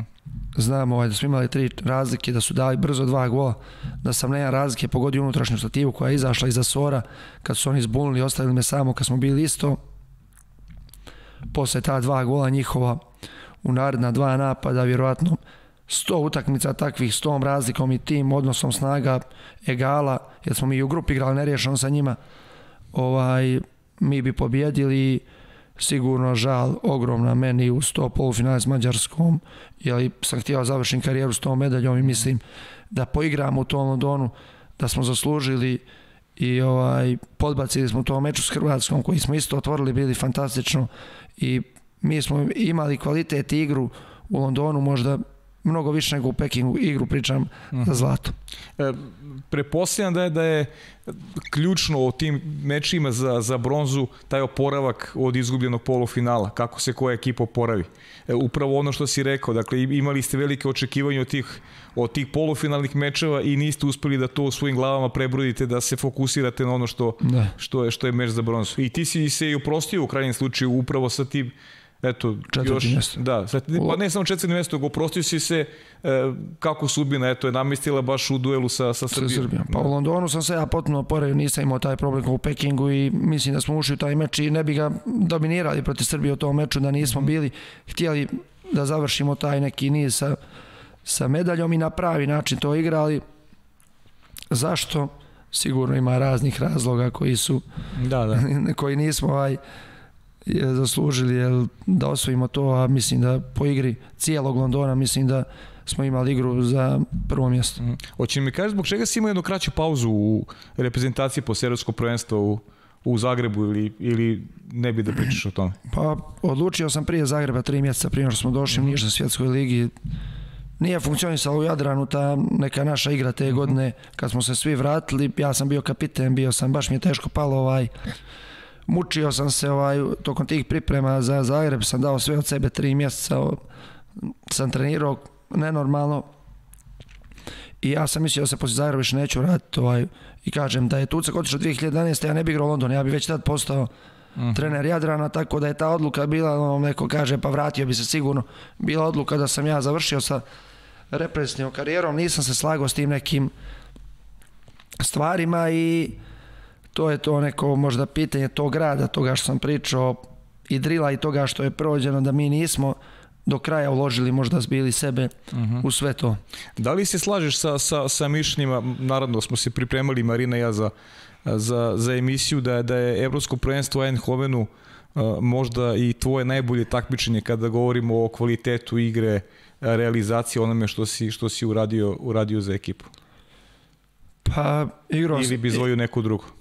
Pa, šta, pa reprezentativno šta znam, zavisi. Malagu sam igrao lošije prvi dio završnicu na jednom izuzetno dobrom nivou, ali vjerojatno Eindhoven ostane ljudima u pamćenju i iz razloga broja postignutih mhm, golova. Pa da. Ja nisam ovaj, moja igra nije bila bazirana na tome, više je bila taj defanzivna i, i da kažem neka razigravanja, tako da ovaj, s te strane ovaj, i može, može, može, se, može se uzeti u obzir, ali London, na primjer, nisam imao taj golgeterski učinak, imao sam baš problema sa završnicom, pa onda možda nije upotpunilo tu sliku. E, protiv koga ti je bilo najteže da igraš u, u, u tim mečima sa, sa Srbijom? Je to Šapić ili? A, to je sigurno ovaj, jedan na jedan najbolji igrač kojeg sam ovaj, vidio na svijetu i možda najbolji igrač kojeg, kojeg sam gledao, s kojim sam uh mhm. -huh. ovaj, dijelio minutažu, ali ne mogu da dam pravi sud o tome kad to nije, kažem, i klubska i reprezentativna karijera i mnogo vremena. Ali moć koju on ima u igri 1 na 1, mi smo razvijali strategije i u klubskoj i u Rusiji kako ga čuvamo kad smo bili u, u reprezentaciji i šta da radimo, jeli, ja ga koji sam čuvao, mislim da sam čuvao sve najbolje igrače svijeta od 2000-te i čuvao sam ih po tri četvrtine na utakmici stalno i bio sam taj koji je čuvao poslije Prlinovića, Azeveda, Sukna, Šapića, Kašaša, tu moć ovaj, nikad nisam osjetio. Mislim da Ivović danas jedan na jedan uh -huh. je nešto blizu, ali ne sa takvim uh, feelingom završnice iskorišćenosti šanse. Uh -huh, uh -huh. Eto, to sigurno je jedan najjači igrač na svijetu. Uh -huh. e, ima jedno pitanje, ali sad ću, s obzirom da se nadovezuje na, i na moje sledeće, da li ti je žao što si promenio samo toliko malo klubova, a ja ću opet neizbežnog Borisa da, da, da pomenem u ovoj emisiji koji je rekao da je njemu žao recimo što on igra u Partizan, igra recimo u Partizanu, da bi mu to nekako ojačalo možda i karakter i dalo neki onako, da kažem, taj drill koji je možda nedostajao. Imaš ti neku žal kada pričamo o klubskoj karijeri, to što si igrao za malo klubova i što je reto, recimo nisi igrao možda za, za neki klub poput pa, Partizana ili, ili recimo Zagrebačke mladosti koje su, koji su onako bili pojam na ovim prostorima? Pa dolazili su kasnije ti neki pozivi, uh mhm. -huh. mogu reći jednom sam možda komunicirao s Partizanom, ne znam sam dva puti, zaintegrirate to nekako. Partizan je to bio, ovaj, nisam htio tada, tada idem, ovaj, nije ni došao do neke blizu realizacije, ali nisam htio da idem i bio je Partizan, da kažem, u nekim već problemima po, po meni, ovaj, ali ne, nemam žal. Razmišljam se ja ono što je Boris rekao, nekada završim karijeru, možda negdje drugo, ali sam se vezao specifično za Jadran i čak i da sam ostao cijelu karijeru, ne bi mi sad nešto bilo žao, iako rekao sam ta Rusija mi je ovaj, uh mhm. -huh. dala veliki iskorak i životni i u Waterpo, a taj drill sam naučio kad sam s ovim igračima velikim Srbije, Crne Gore i Jugoslavije, kažem, s kojima se sanju da igraš, od njih sam naučio taj pristup treningu i to, bil, to, to Crna Gora to nije nikad ponovila. Taj mhm. -huh. pristup da se svaki dan dođe na liniju i da se svaki trening, bilo je i tu neslaganja koji svakom, ono što su pričali već ovdje, timu i da ne funkcioniš. Naravno. Kad se stane ujutru, tu svak se kida za svoje mjesto i kida danima i to smo mi poslije na klub uspjeli da prenesemo. Ali primenjuješ ti to sad kao trener? Taj drill, to što si naučio kao, kao igrač? Da, da, primjenjujem i, tekako. I tekako, a? znači to je, to je sad... Pa mislim, to je jedini pravi ispravan mm. put i ja sam to zahvalan što sam tad naučio tada mm -hmm. i od trenera Manojlovića i od, od, od njih i to smo mi već tad prenijeli u Jadran za te mlade generacije u prvom kao igrači. Uh mhm. -huh. I onda si ti najbolji tebe, oni jure i oni uče na taj način. E, nisi više vlado trener Jadrana, ali ili ima potencijala da se u nekom momentu uradi ono što tvoja generacija nije, da se napone Euroliga? Znam da si vezan za klub i bez ozira što ne obavljaš više funkciju trenera, ali ti si neko ko je, da kažem, postavio temelje tog nazovi novog Jadrana s obzirom da, eto, tog perioda kada si preuzeo tu trenersku štafetu, manje više si čovek koji je konstantno, koji, koji je konstantno unutar svog kluba. Pa jeste, u te 2012. godine pričao sam, bio je kolaps u klubu, mhm. -huh. sličan kao kaj je Porobić došao 97. I s, s, svi su otišli, mi smo krenuli jedan projekt, provo to što je ostalo igrača, godinu dana odradili nešto i uzeli djecu od 16 godina, očistili i to koji su bili 20 uh -huh. godina ne stari, ostalo dvojicu, trojicu, doveli jednog, ono što smo pričali na početku, koliko je važno iskusno igrača, da. koji je klubski igrač, nije nekada reprezentaciju igra, uh mhm. -huh. ali primjer pravi i krenuli u taj projekat i da kažem, neđe četvrta godina je to već treća isplivala, uzeli dominaciju dolje, došli za Juga mladosti u regionalnoj ligi i sa tim financijama nismo mogli ovaj ali otprilike na petu, šestu, sedmu godinu se počelo to stvara 2018. 19. ekipa kako sam ih ja povukao u reprezentaciju većinu njih reprezentativna klubska, ne može igrač koji ne igra i zim i dobar nivo i ljeti reprezentaciju, ne može da ode na najveći, na najveći nivo. Mi smo ovaj poč, oformili taj izuzetno dobar tim, po meni zadnje posljednje dvije godine u Jadranu i projekat je bio ovaj da prošle godine igramo Ligu šampiona Wild Card uzel na tri godine, trebalo se završiti na Final Eightu. Ove godine jedno pojačanje da ostanu, to sve djeca iz Hercegovine, mm. Petković igrači Srbije naš, jedan Bjelorus, sve su igrači iz Hercegovine, bio je jedan Hrvat, ali isto ne repstivac. Da se ove godine pojača ta ekipa i u načelu, ne u načelu, ali Andrija će potvrditi dogovor da se on i Ivović za sledeću godinu to je već bila jedna ozbiljna priča krenula uh mhm. -huh. da se njih dvojica vrate u Herceg-Novi, jer obojica su dolje dakle. ponikli, postali, postali igrači i, ili jedan od njih da se vrati na to što smo mi već podigli do prošle godine i desila se ova korona i sve što se desilo mi smo na kraju u maju sjeli i pustili tri najbolje igrača iz Jadrana i krenuli, ostavili Pel, Kostur dobar, ne takav kakav sam ja zatekao 2012 dobar, izuzetno dobar Kostur, dobrih igrača i četiri repstivca, ali finansijski spustili to na neki minimum, minimum, ba da ne pričam. I ima jedna izuzetna generacija koja dolazi, sad je tu na pripremama i moj neki plan nas u klubu ovaj, je da to bude bi moglo bi za 3-4 godine opet. Uh -huh. Opet pričamo o povratku nekog od ovih vrhunskih, nadam se da će još igra vaterpolo. Da, da, da, pa dobro. Znam, imam u glavi koga bi mogu da, na koga oludiraš onda u, u toj situaciji.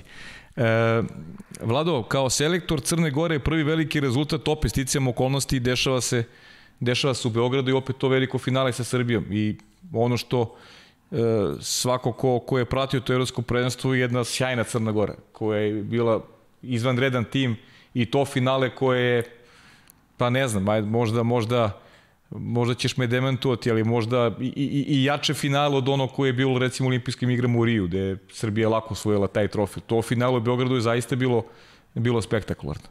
I Crna Gora koja je igrala sjajno. Pa da, ta moja trener selektorska karijera se dijeli za, suštini za tu 16. i ono poslije, sam ja da. tu naslijedio ekipu igrača sa kojima sam ja igrao. Tako je. Izuzetnih igrača, ja sad ne znam sa koga zaboravio, mislim ovaj, ali to su ovaj bili u određenom momentima među dva ili tri najbolje igrača svijeta, svi na svojim pozicijama. Samo Boris nije igrao, ali se je, je, je se povrijedio i imali su velike trofeje, tako da mi smo došli taj Beograd sa dosta teškim pripremama i opet meni nezgodno je s ljudima s kojima sam odrastao si morao već i možda u neke konflikte da ulaziš sad si ti trener i to je dosta teška bila došli smo na evropsko prvenstvo i krenuli smo da igramo iz utakmice utakmicu, utakmicu dobro. Fantastičan meč taj u četvrfinalu protiv Italije, protiv Italije sa svim, sa svom pomoći koju ona imala nevjerojatan igrač manje i jedan od najboljih mečeva, polufinalni meč sa Mađarskom koja je igrala i to i, i olimpijadno je izuzetan nivo došao je finale sa Srbijom, arena se otvorila i onaj drugi dio za 17.000 yes ljudi. Iskreno ja sam vidio u tom momentu Srbiju u, ko favorita jer domaći teren i mi smo svih tih prethodnih godina mnogo lakše izlazili na kraj sa svim ekipama sa Srbijom i imali smo jedan niz poraza od Hrvatske poslije Londona do Londona. Mi nismo, jednom smo možda izgubili dva puta od Hrvatske. I taj meč šta da kažem ovaj, imali smo ga u rukama bile su neke odluke možemo se žaliti ili ne žaliti kad Ivović dobio tu drugu ličnu na kraju treće četvrtine taj gol za nerješeno i taj poništen gol koji je opravdano poništen samo što je sudija trebao da zaustavi jer je igrač se radovao, klupa je radovala, oni su iz kontranapada prvi put poveli, -huh. a jedan sudija je svirao go, drugi ga je poništio i otišao je kontranapad i dali su go, samo da je sudija uzeo loptu i zaustavio da se postave ljudi na svoje mjesto, ništa više, ovaj, ali to su neke greške koje ne mogu reći da to su neke dvije odluke da je to riješio, ali je greška definitivno bila uh. -huh. u tom momentu, jer gol koji je poništen, koji je prvo bio priznat. Uh mhm. -huh. Ali velika utakmica, mogu se budeš verujem da su svi bili zadovoljni i, i, i igrom pre svega i onim što, što ti donosiš crnogonskoj vaterpolu kada pričamo o nekoj o to nekom stručnom radu. Pa ja sam morao da budem zadovoljan jer nisam znao šta da očekujem. Crna Gora nije godinu prije toga bila dobra, dvije godine prije toga izgubila isto jedan težak poraz u Budimpešti i bila četvrta i prvo tražili smo, mi smo s tom utakmicom ovaj, obezbijedili olimpijsku vizu. -huh. sa pobjedom protiv Mađara, što sada evo nemamo, nismo ušli u finale ovog evropskog. Da. I to je ja kao igrač, na primjer, nikad ne bi bio toliko zadovoljan koliko sam bio kao trener poslije Evropske. Sam siguran na olimpijadi, znamo koliko su stresne kvalifikacije ali se pojavio žal poslije utakmice jer smo imali Srbiju, što možda nismo očekivali da, da. da ćemo mi da dominiramo tim mečem u Beogradu. Sigurno niko nije mogao da očekujemo tri po četvrtine da će Crna Gora e, kontrolisati utakmicu. Tako da se pojavio žal poslije, ali sve ukupno sam morao budem zadovoljan. Kažem, ko igrač bi vjerojatno bio mnogo više nezadovoljan kao što su ti igrači Crne Gore tad bili izuzetno nezadovoljni poslije finala, što ja razumijem. Da, ali možeš ovom godinu da budeš zadovoljan januar mesec rekao si mi da, da ima žal za tim izgubljenim polufinalom, ali opet s druge strane, Crna Gora radila nešto u prošlosti nije. Odigrala, skupila se, odigrala meč za bronzu i osvojila tu bronzu. I medalja je medalja. Važna je. Kako ne, važna je medalja, iako nismo otišli i puno je vratila nama vjere i samopouzdanje, ali mi objektivno posle te 2016 smo napravili veliku smjenu. Uh -huh. U ovoj ekipi su 10 novih igrača koji nisu osvojili jednu medalju. U ovoj u Budimpešti bili.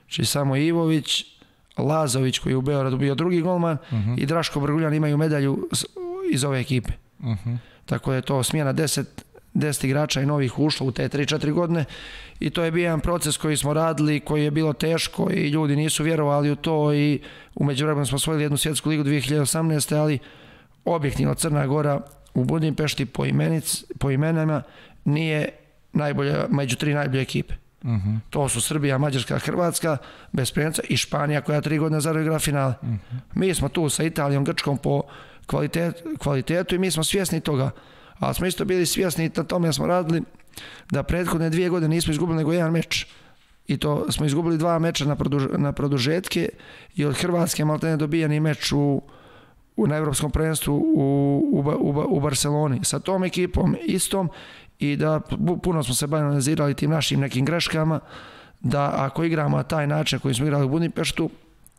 u Budimpešti da možemo da igramo sa svima Uh -huh. Par dana prije Budimpešta smo bili sa Srbijom tu na pripremu u Novom Sadu. Možda nas je taj prvi meč, mi nismo bili u priči.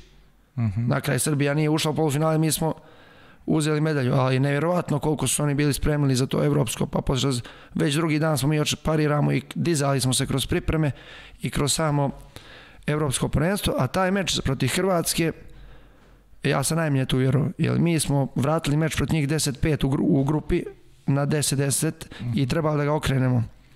Ja sam samo rekao igračima, nemojte da uđemo u minus ponovo, jer toliko istrošen i emotivno poslije Mađara koje smo mogli dobiti u polufinale, ovaj, taj meč možda najlošiji odigrali, da jurimo Hrvatsku ovakvu sa takva dva centra i možda najdominantnijom ekipom na prvenstvu, četiri razlike, da mi je neko rekao prije utakmice to ćete preokrenuti, ja bih rekao kladim se da nećemo. Mm ali eto jedna nevjerojatna energija i dobra atmosfera, smo sklopili jednu ekipu sa izuzetnom atmosferom i na kraju je taj individualni kvalitet Ivovića došao u toj utakmici, ali on je kolektivno nosio, kolektiv je nosio tu igru i pobjedio je jedan kolektiv tokom cijelog evropskog prvenstva i comeback kakav nisam vjerovao i nevjerojatan uspjeh za nas. Ne, negde se Vlado vratilo za, pa, vjerovatno. za taj London. Pa mislim da se vratilo njima, jer stvarno su pošteni bili ove 3-4 godine, pogotovo posljednje 2-3 godine. Ja kao trener bio sam i kao igrač, ali 3 godine ja nisam imao i jedan trening problem sa igračima u radu, znači to ne pamtim ko igrač, ni ko trener prije toga da se desilo. Nevjerovatna požrtovanost, vjerojatno svjesni da mi više nismo taj kvalitet i mogu reći da se radilo kao u najboljim danima u onoj reprezentaciji, da niko nije odstupao 1% i čak ovo ljeto kad sad nije bilo takmičenja poslije Budimpešte, mi smo 3,5 mjeseca bili Ivo iz Draško Brguljan 34 ili 36 godina prva dva čovjeka na treningu cijelo ljeto. Ja, I to se njima vratilo najviše. E, kaži mi sad, kakvi su ciljevi za budućnost? E, ti kao selektor, gde vidiš Crnogoru e, shodno na talentu i nekim realnim mogućnostima? proći je taj, proći je taj Tokio. Pa cilj je, cilj je da se izbori viza za Tokio. Uh mhm. -huh. Ja vidim ako uspijemo na nivou Saveza i sad povratkom Primorca koji je posljednjih godina potpuno ovaj, pao oko klub koji je dao pola repstivaca, pola Jadransa. To Njeg, mnogo... Njih je sad preuzeo Sandro Sukno, tako? Sandro Sukno preuzeo, oni nisu imali tri godine bazen. Uh mhm. -huh. Da Crna Gora ima ozbiljan kapacitet da za dvije, tri godine se opet vrati na ovaj taj vrh među 3-4 najbolje ekipe da figurira kao favorit. Mhm. Ako sve složimo na način koji ja mislim u ovom momentu to nije složeno i ne uspjevamo to, jer u ovom momentu su i financije nešto što dosta diktira bez jake lige, bez jakih klubova. Nama je 10 igrača otišlo iz takve lige ove sezone. A sad nemamo ni regionalnu ligu i to je sad tema koja bi se pričalo dugo kako bi to trebalo sve ovaj da funkcioniše. Ja, kaži mi, pratiš uh, srpski šampionat? Pričali, pričali smo pre emisije zaista jedna grupa igrača iz Crne Gore koja je pojačala srpske klube. Mislim da Srpska liga nije odavno bilo ovako interesantna. Četiri kluba koje se bore za titul, imaju kvalitet, vraćaju se i reprezentativci Srbije i rekao sam već, to sam i u prenosima istakao, nekoliko zaista vrlo interesantnih kvalitetnih igrača iz Crne Gore, poput Ukropine, poput Gardaševića, Save Četkovića. Pa su Ukropine, Četković, reprezentativci Gardašević je bio kod nas u Jadranu uh mhm. -huh. veliki ovaj broj godina igrao na ozbiljnom nivou i mislim da su doneli dobar kvalitet u tim klubovima. Čak među dvojicom su ili trojicom glavnih igrača nosioca igre tih klubova i s te strane sam sretan, šampionat Srbije je odličan i volio bi tako da ostane da ostane u budućnosti. Ovo što radi Novi Beograd je oformio sa takvim stručnim štabom i klubom izgleda prave ozbiljnu priču i što sam komunicirao sa njima za duži period radnički iz onoga stanja ovo što je uspio da izvuče nevjerovatno mm -hmm. jer su bili pred, pred gašenjem i dobro funkcioniše Zvijezda ide gore dolje ovaj a Partizan ne, znam, šta da kažem Šabac je već 3-4 godine to, ta ekipa od te četiri, Partizan bi bilo dobro da se vrati, ali to ne izgleda sad tako jednostavno. Vanja, ajmo treće pitanje. Pozdrav Lado, tebi i svima u studiju. Igrali smo zajedno tvoju posljednju igračku sezonu u Jadranu iz Herceg Svi smo tad već znali da ćeš naredne sezone ti da nam budeš trener. Ušao si kao mlad trener, treniralo se jako dugo i u nekoj priči si ti meni rekao da je profesionalni sport zdrav. Na šta sam ja konstatovao da je zdrava da se pojede pomoranđa, ali ako se pojede gajba pomoranđa sigurno će ti bude muk. Tako da da li se i dalje držiš te teorije da je profesionalni sport zdrav. Pozdrav. Samo da kažem, za one koji ne znaju, Nikola Tomašević, sportski, novi sportski direktor Radničkog iz Kragovica. I ovaj, tvoj bivši pa, Očekivano pitanje. Pričali smo ovih dana o tome, o toj, o, to, o toj saradnji. Uh, sjećam se dobro kad je, kad je ovaj to rekao, ali profesionalni sport možemo sa pričati zdravi ili nije izuzetno ostavlja posljedice s te stručne strane neke doktorske da kažemo ili za budućnost života ali ovaj mi smo pričali o tome da treba raditi, a on nije, nije volio da radi i onda mi je rekao, kaže, zdrava je jedna naranđa, nije zdravo sjedi eh, gajba po moranđi da ti stojiš u bazenu 3 sata ili 2 i po sata što se ja tražio godinu prije toga, on stojio sat i 10 i to je optimalno. Ta, da, tako smo taj razgovor vodili. Dobro, hvala i Nikoli na, hvala i Nikoli na pitanju. E, neću još dugo da ti zadržam, proćemo brzo na pitanja gledalaca. E, zanima me koliko, onako iz svog ugla, koliko je Vatrpol napredo u odnosu na vreme kada si, kada si ti igrao? Rekao bih da tom nekom fizičkom a, smislu svakako jeste, traži se više kontakt, traži se više pripreme. Kako ti to gledaš, pogotovo sad iz, iz stručnog ugla, baviš se, baviš se time i kao trener. Kako bi uporedio to vreme tvoje kada si igrao i ovo sada i, o, i ovaj sada period? Pa mnogo više kontakta. Ja inače sam, kažem, igrao to na jedan drugčiji način, bez ovoga što bi rekli klinča i to je mene zahvatilo u jednom momentu, ali nisam ulazio čuvajući te igrače u tu igru i mnogo je veća potrošnja. Mnogo više se teretana radi u današnjem vremenu nego što sam ja radio ni blizu, ni blizu toga i vjerovatno se igrači više troše jer je mnogo mali broj igrača koji mogu da iznesu cijelu utakmicu. Uglavnom i u Srbiji, to i u Crnoj Gori nose igrači iz tog doba. Uh mhm. -huh. E sad, da li su ovi potrošeni od mladih, mnogo, ne mogu to da definiš, ali mali broj mladih igrača igra po 30 minuta na utakmici, možda i ne treba, ali kad ti imaš Ivovića, Pralinovića, oni tebi igraju 28 do 30 minuta, ne možeš utakmicu bez njih.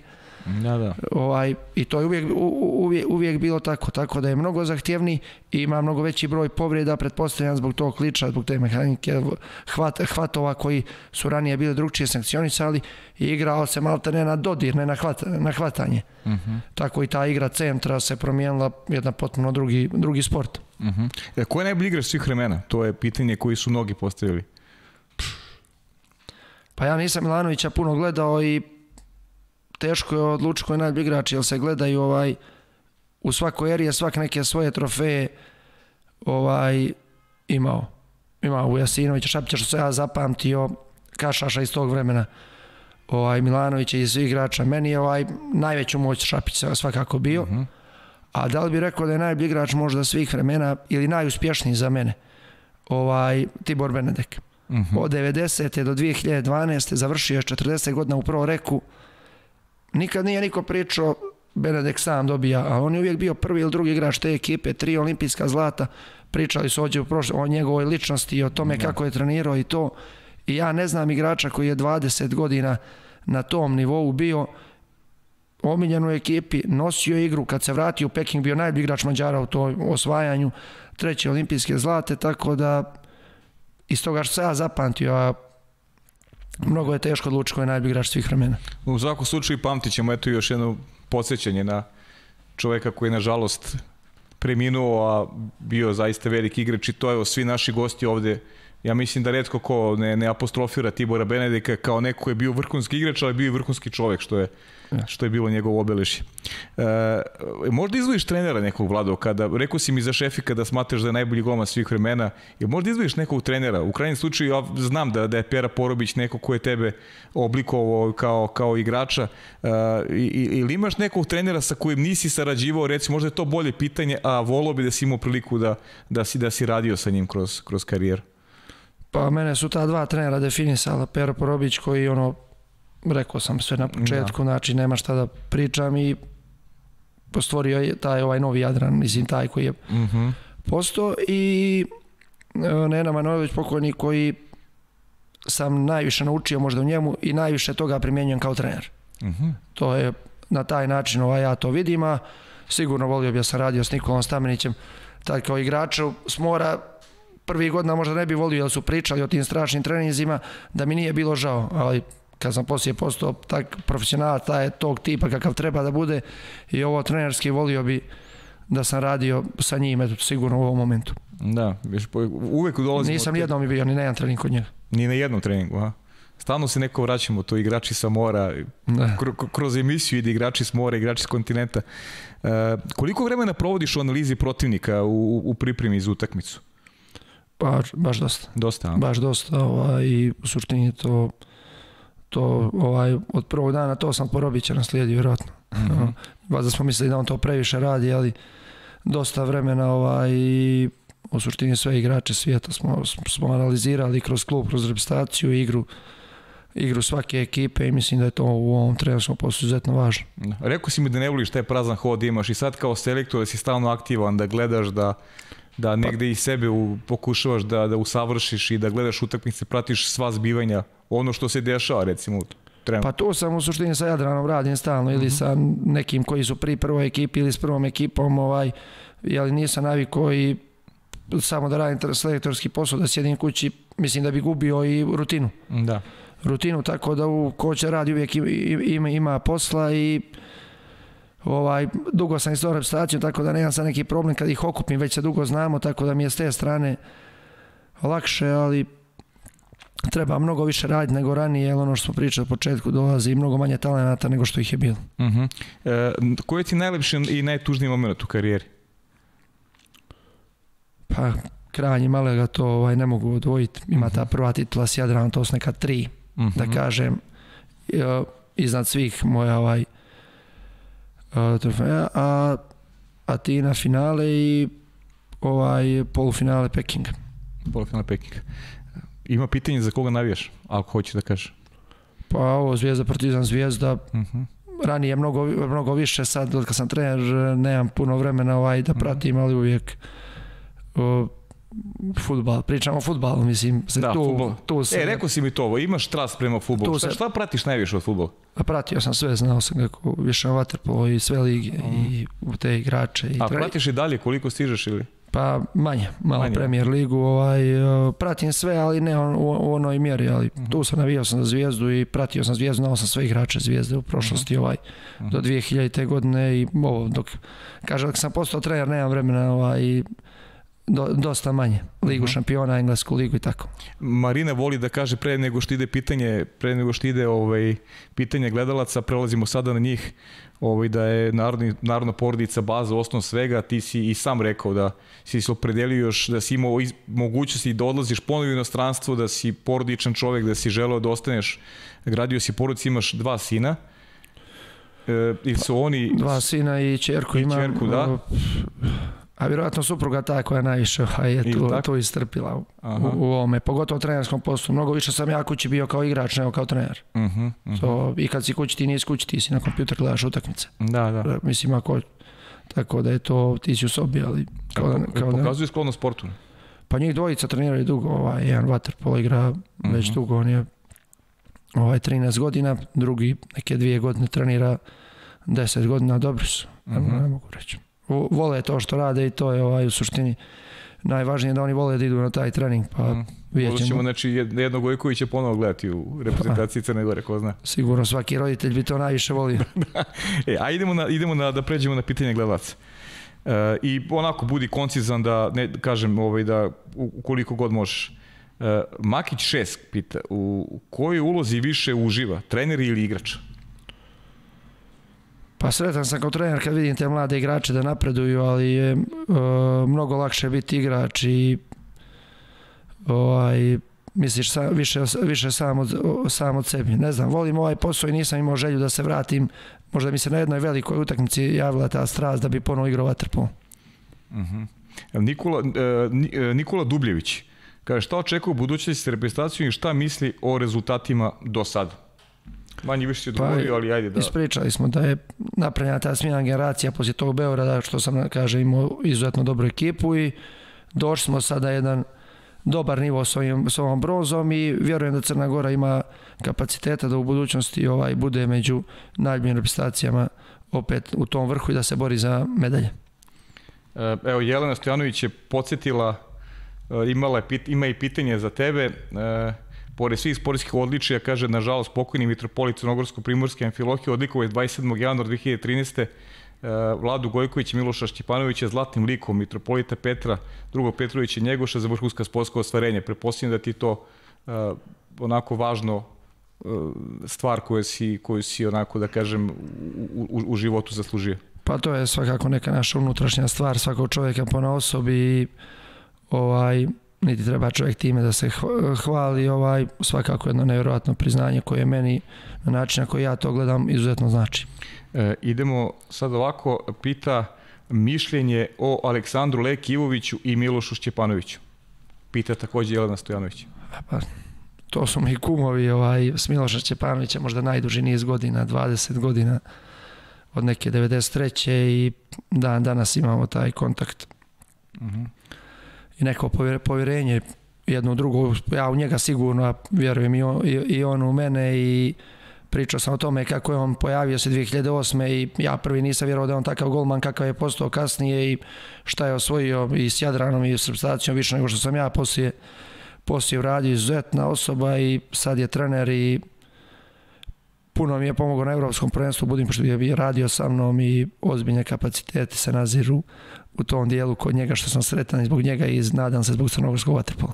E, Vanja, može četvrti prilog, molim te.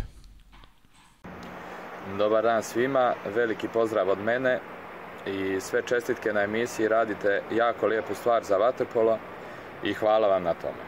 A Vladu sljedeće pitanje.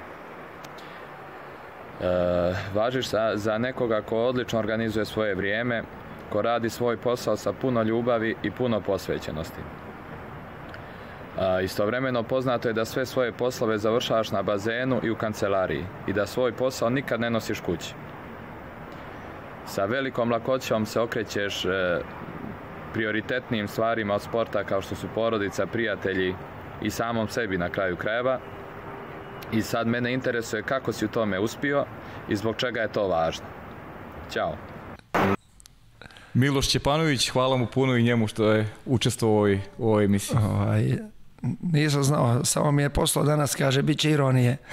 ovaj, nosim taj posao kući, nosim ga ovaj, kao što sam, kao što sam prije rekao i to on me zazezo kako ja njemu i kad je on bio igrač, pošto nije baš važio ko sad, sad je napredo u tom dijelu, sam organizovao neke stvari i tu sam bio dobar ovaj, ali sad je to više toliko nemoguće toliko posla ima u tom dijelu da ovaj, nosim posao kući, zato mislim da je ta ironija i ovaj, da se posvetim sebi i prijateljima jedno vrijeme ovaj, nisam se gledao sa, njih, sa nikim jedno dvije, tri godine. Mhm. Znači oni dođu iz inostranstva, vidimo se jednom. To je bila utakmica srijeda, subota, klub, ja sam radio istovremeno klub repstacija, ne bih volio to ponovo nikada radim i mislim da je ne, neizdrživo i doveo sam sebe u jednu situaciju da to kako su moji kući izdržali da je to svaka čas i mislim da je u tom smislu išao Miloševo pitanje. Shvatio sam sada, pošto prvo, u prvi mak ja nisam razumio to na taj način. za Ivovića sam, da. pa on je bio taj mlad igrač u tome kad sam ja već sazreo i naučio dosta toga od ovih igrača iz Srbije, Crne Gore, zajedničke države i vezao se uz mene i ogromni broj e, sati i vremena sam proveo sa njim i, ovaj, i s njim nikad nije dosadno. S njim su najveće šale i spreman je da napravi najveću ludost dan danas sa toliko godina imamo izuzetan odnos i smo igrač, trener, ovaj, malo se manje družimo van bazena sad ovo, dok smo selektor, to, to nije više tako često, ali ovaj, Evo vidi se i po meni kad njega spomene, ja smijem. e, velika nam je želja, ovaj, imamo i, i da ti kažem iskreno i ovaj, poruke da, da, da bude gost i, i Leka Jović, nadam se da će se to dogoditi prvom prilikom, tako da eto, otvoren poziv s ovog mesta, stupit ćemo u kontakt sigurno sa njim. Jelena, da završimo sa Jelenom Stojanović, Jelenom Stojanović koja se baš potrudila, ne mogu sva pitanja, ajde, izgubili, izgubili mnogo vremena, e, najteži protivnik uh, iz igračkog perioda kako u klubskoj, tako u represivnoj e, karijeri i kaže veliki, veliki pozdrav za gospodina Vlada. Najveći protivnik Partizan i Srbija. Partizan i Srbija najveći I protivnik. nisam, ovaj, to mi je najteže bilo i taj njihov način igre i to što je Gajla ovaj pressing taj koji niko nije imao u tom momentu kao Partizan, to mi je izuzetno onemogućavalo moju igru kao igraču. Ovaj, I to je ono nešto na čemu ja radim sa mojim ekipama da budemo malo ovaj da slijedimo taj primjer e, toga Partizana i te te mhm. -huh. Srbije. Ali meni kao igraču ubjedljivo najteži protiv. Mhm. -huh. E, Ilić pita ko je bolje Srbija ili Crna Gora i da li mu je nekada neko rekao da liči na Mihajla Šumahira? Pa, nije mi to niko ovaj, rekao da liči na Mihajla Šumahira. A Srbija, Srbija je bolja, što ćemo za sada? Mi smo završili posljednje ovo takmičenje bolje, nadam se da ćemo ostati ispred njih. e, Vuk, Voksan, Vuk Voksanović kaže, pozdravi e, puno vladu i reci mu da se ne nervira mnogo. A Vuk je ovaj, moj kolega trener radi u Njemačkoj, u, Hano, u, u Hanoveru bio je prije dvije godine radio sa nama, baš pre to finale Kupa Lena i ozbiljno je zagrizo za ovaj naš sport. Da, i prepostavljam da šalje neku poruku koja je tebi poznata, da se nerviraš mnogo. Znam i piše nam često i šalje pitanja često, znam da je, da je, da je u Nemačkoj. Marina Đurić, završit ćemo sa njenim pitanjima. E, to je ono što ti već pitao, da li mu je žao što nije promenio više klubova e, u karijeri? Pa ne, kažem, nemam neki žal. E, e, I kojim vatrepolistima se divio kada je počinjao da se bavi vatrepolom? Eto, to je možda i pitanje za kraj. A tada se pričalo o Milanoviću i Gočaninu kad se ja počeo. Uh Mhm. -huh. A poslije je već došla ova generacija s kojom, s kojom sam igrao, sve sa ih već nabrojao iz, iz Srbije i Crne Gore. Sa ovima iz Crne Gore sam igrao, tako da, ali ovima kojima sam ušao da igram reprezentaciju Srbije Crne Gore, za mene je to bilo ono najviše i od njih sam toliko naučio i već da se ne ponavljam u svakom smislu. Uh -huh. Vlado, šta ti kažem? Hvala ti mnogo što si, što si bio naš gost. E, želim ti prvo da znači, sreće zdravlja porodi, u porodici i da se Crna Gora plasira na olimpijske igre u Tokiju, pa tamo neka, neka bude šta bude i da se ponovo sretnemo na ovom mestu da analiziramo olimpijske igre u Tokiju i da, i da provrtimo neke teme koje nismo stigli do sada.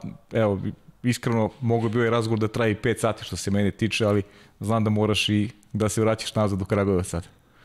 Pa eto, hvala, jer niste mogli ljepše želje da mi poželite, a sa zadovoljstvom uvijek razgovor je bio izuzetno prijatan i ja sam sam podsjetio nekih vremena o kojima nisam stvarno razmišljao davno. Hvala ti puno, Vlado, još jednom, sve najbolje i to je to za ovu 21. epizodu.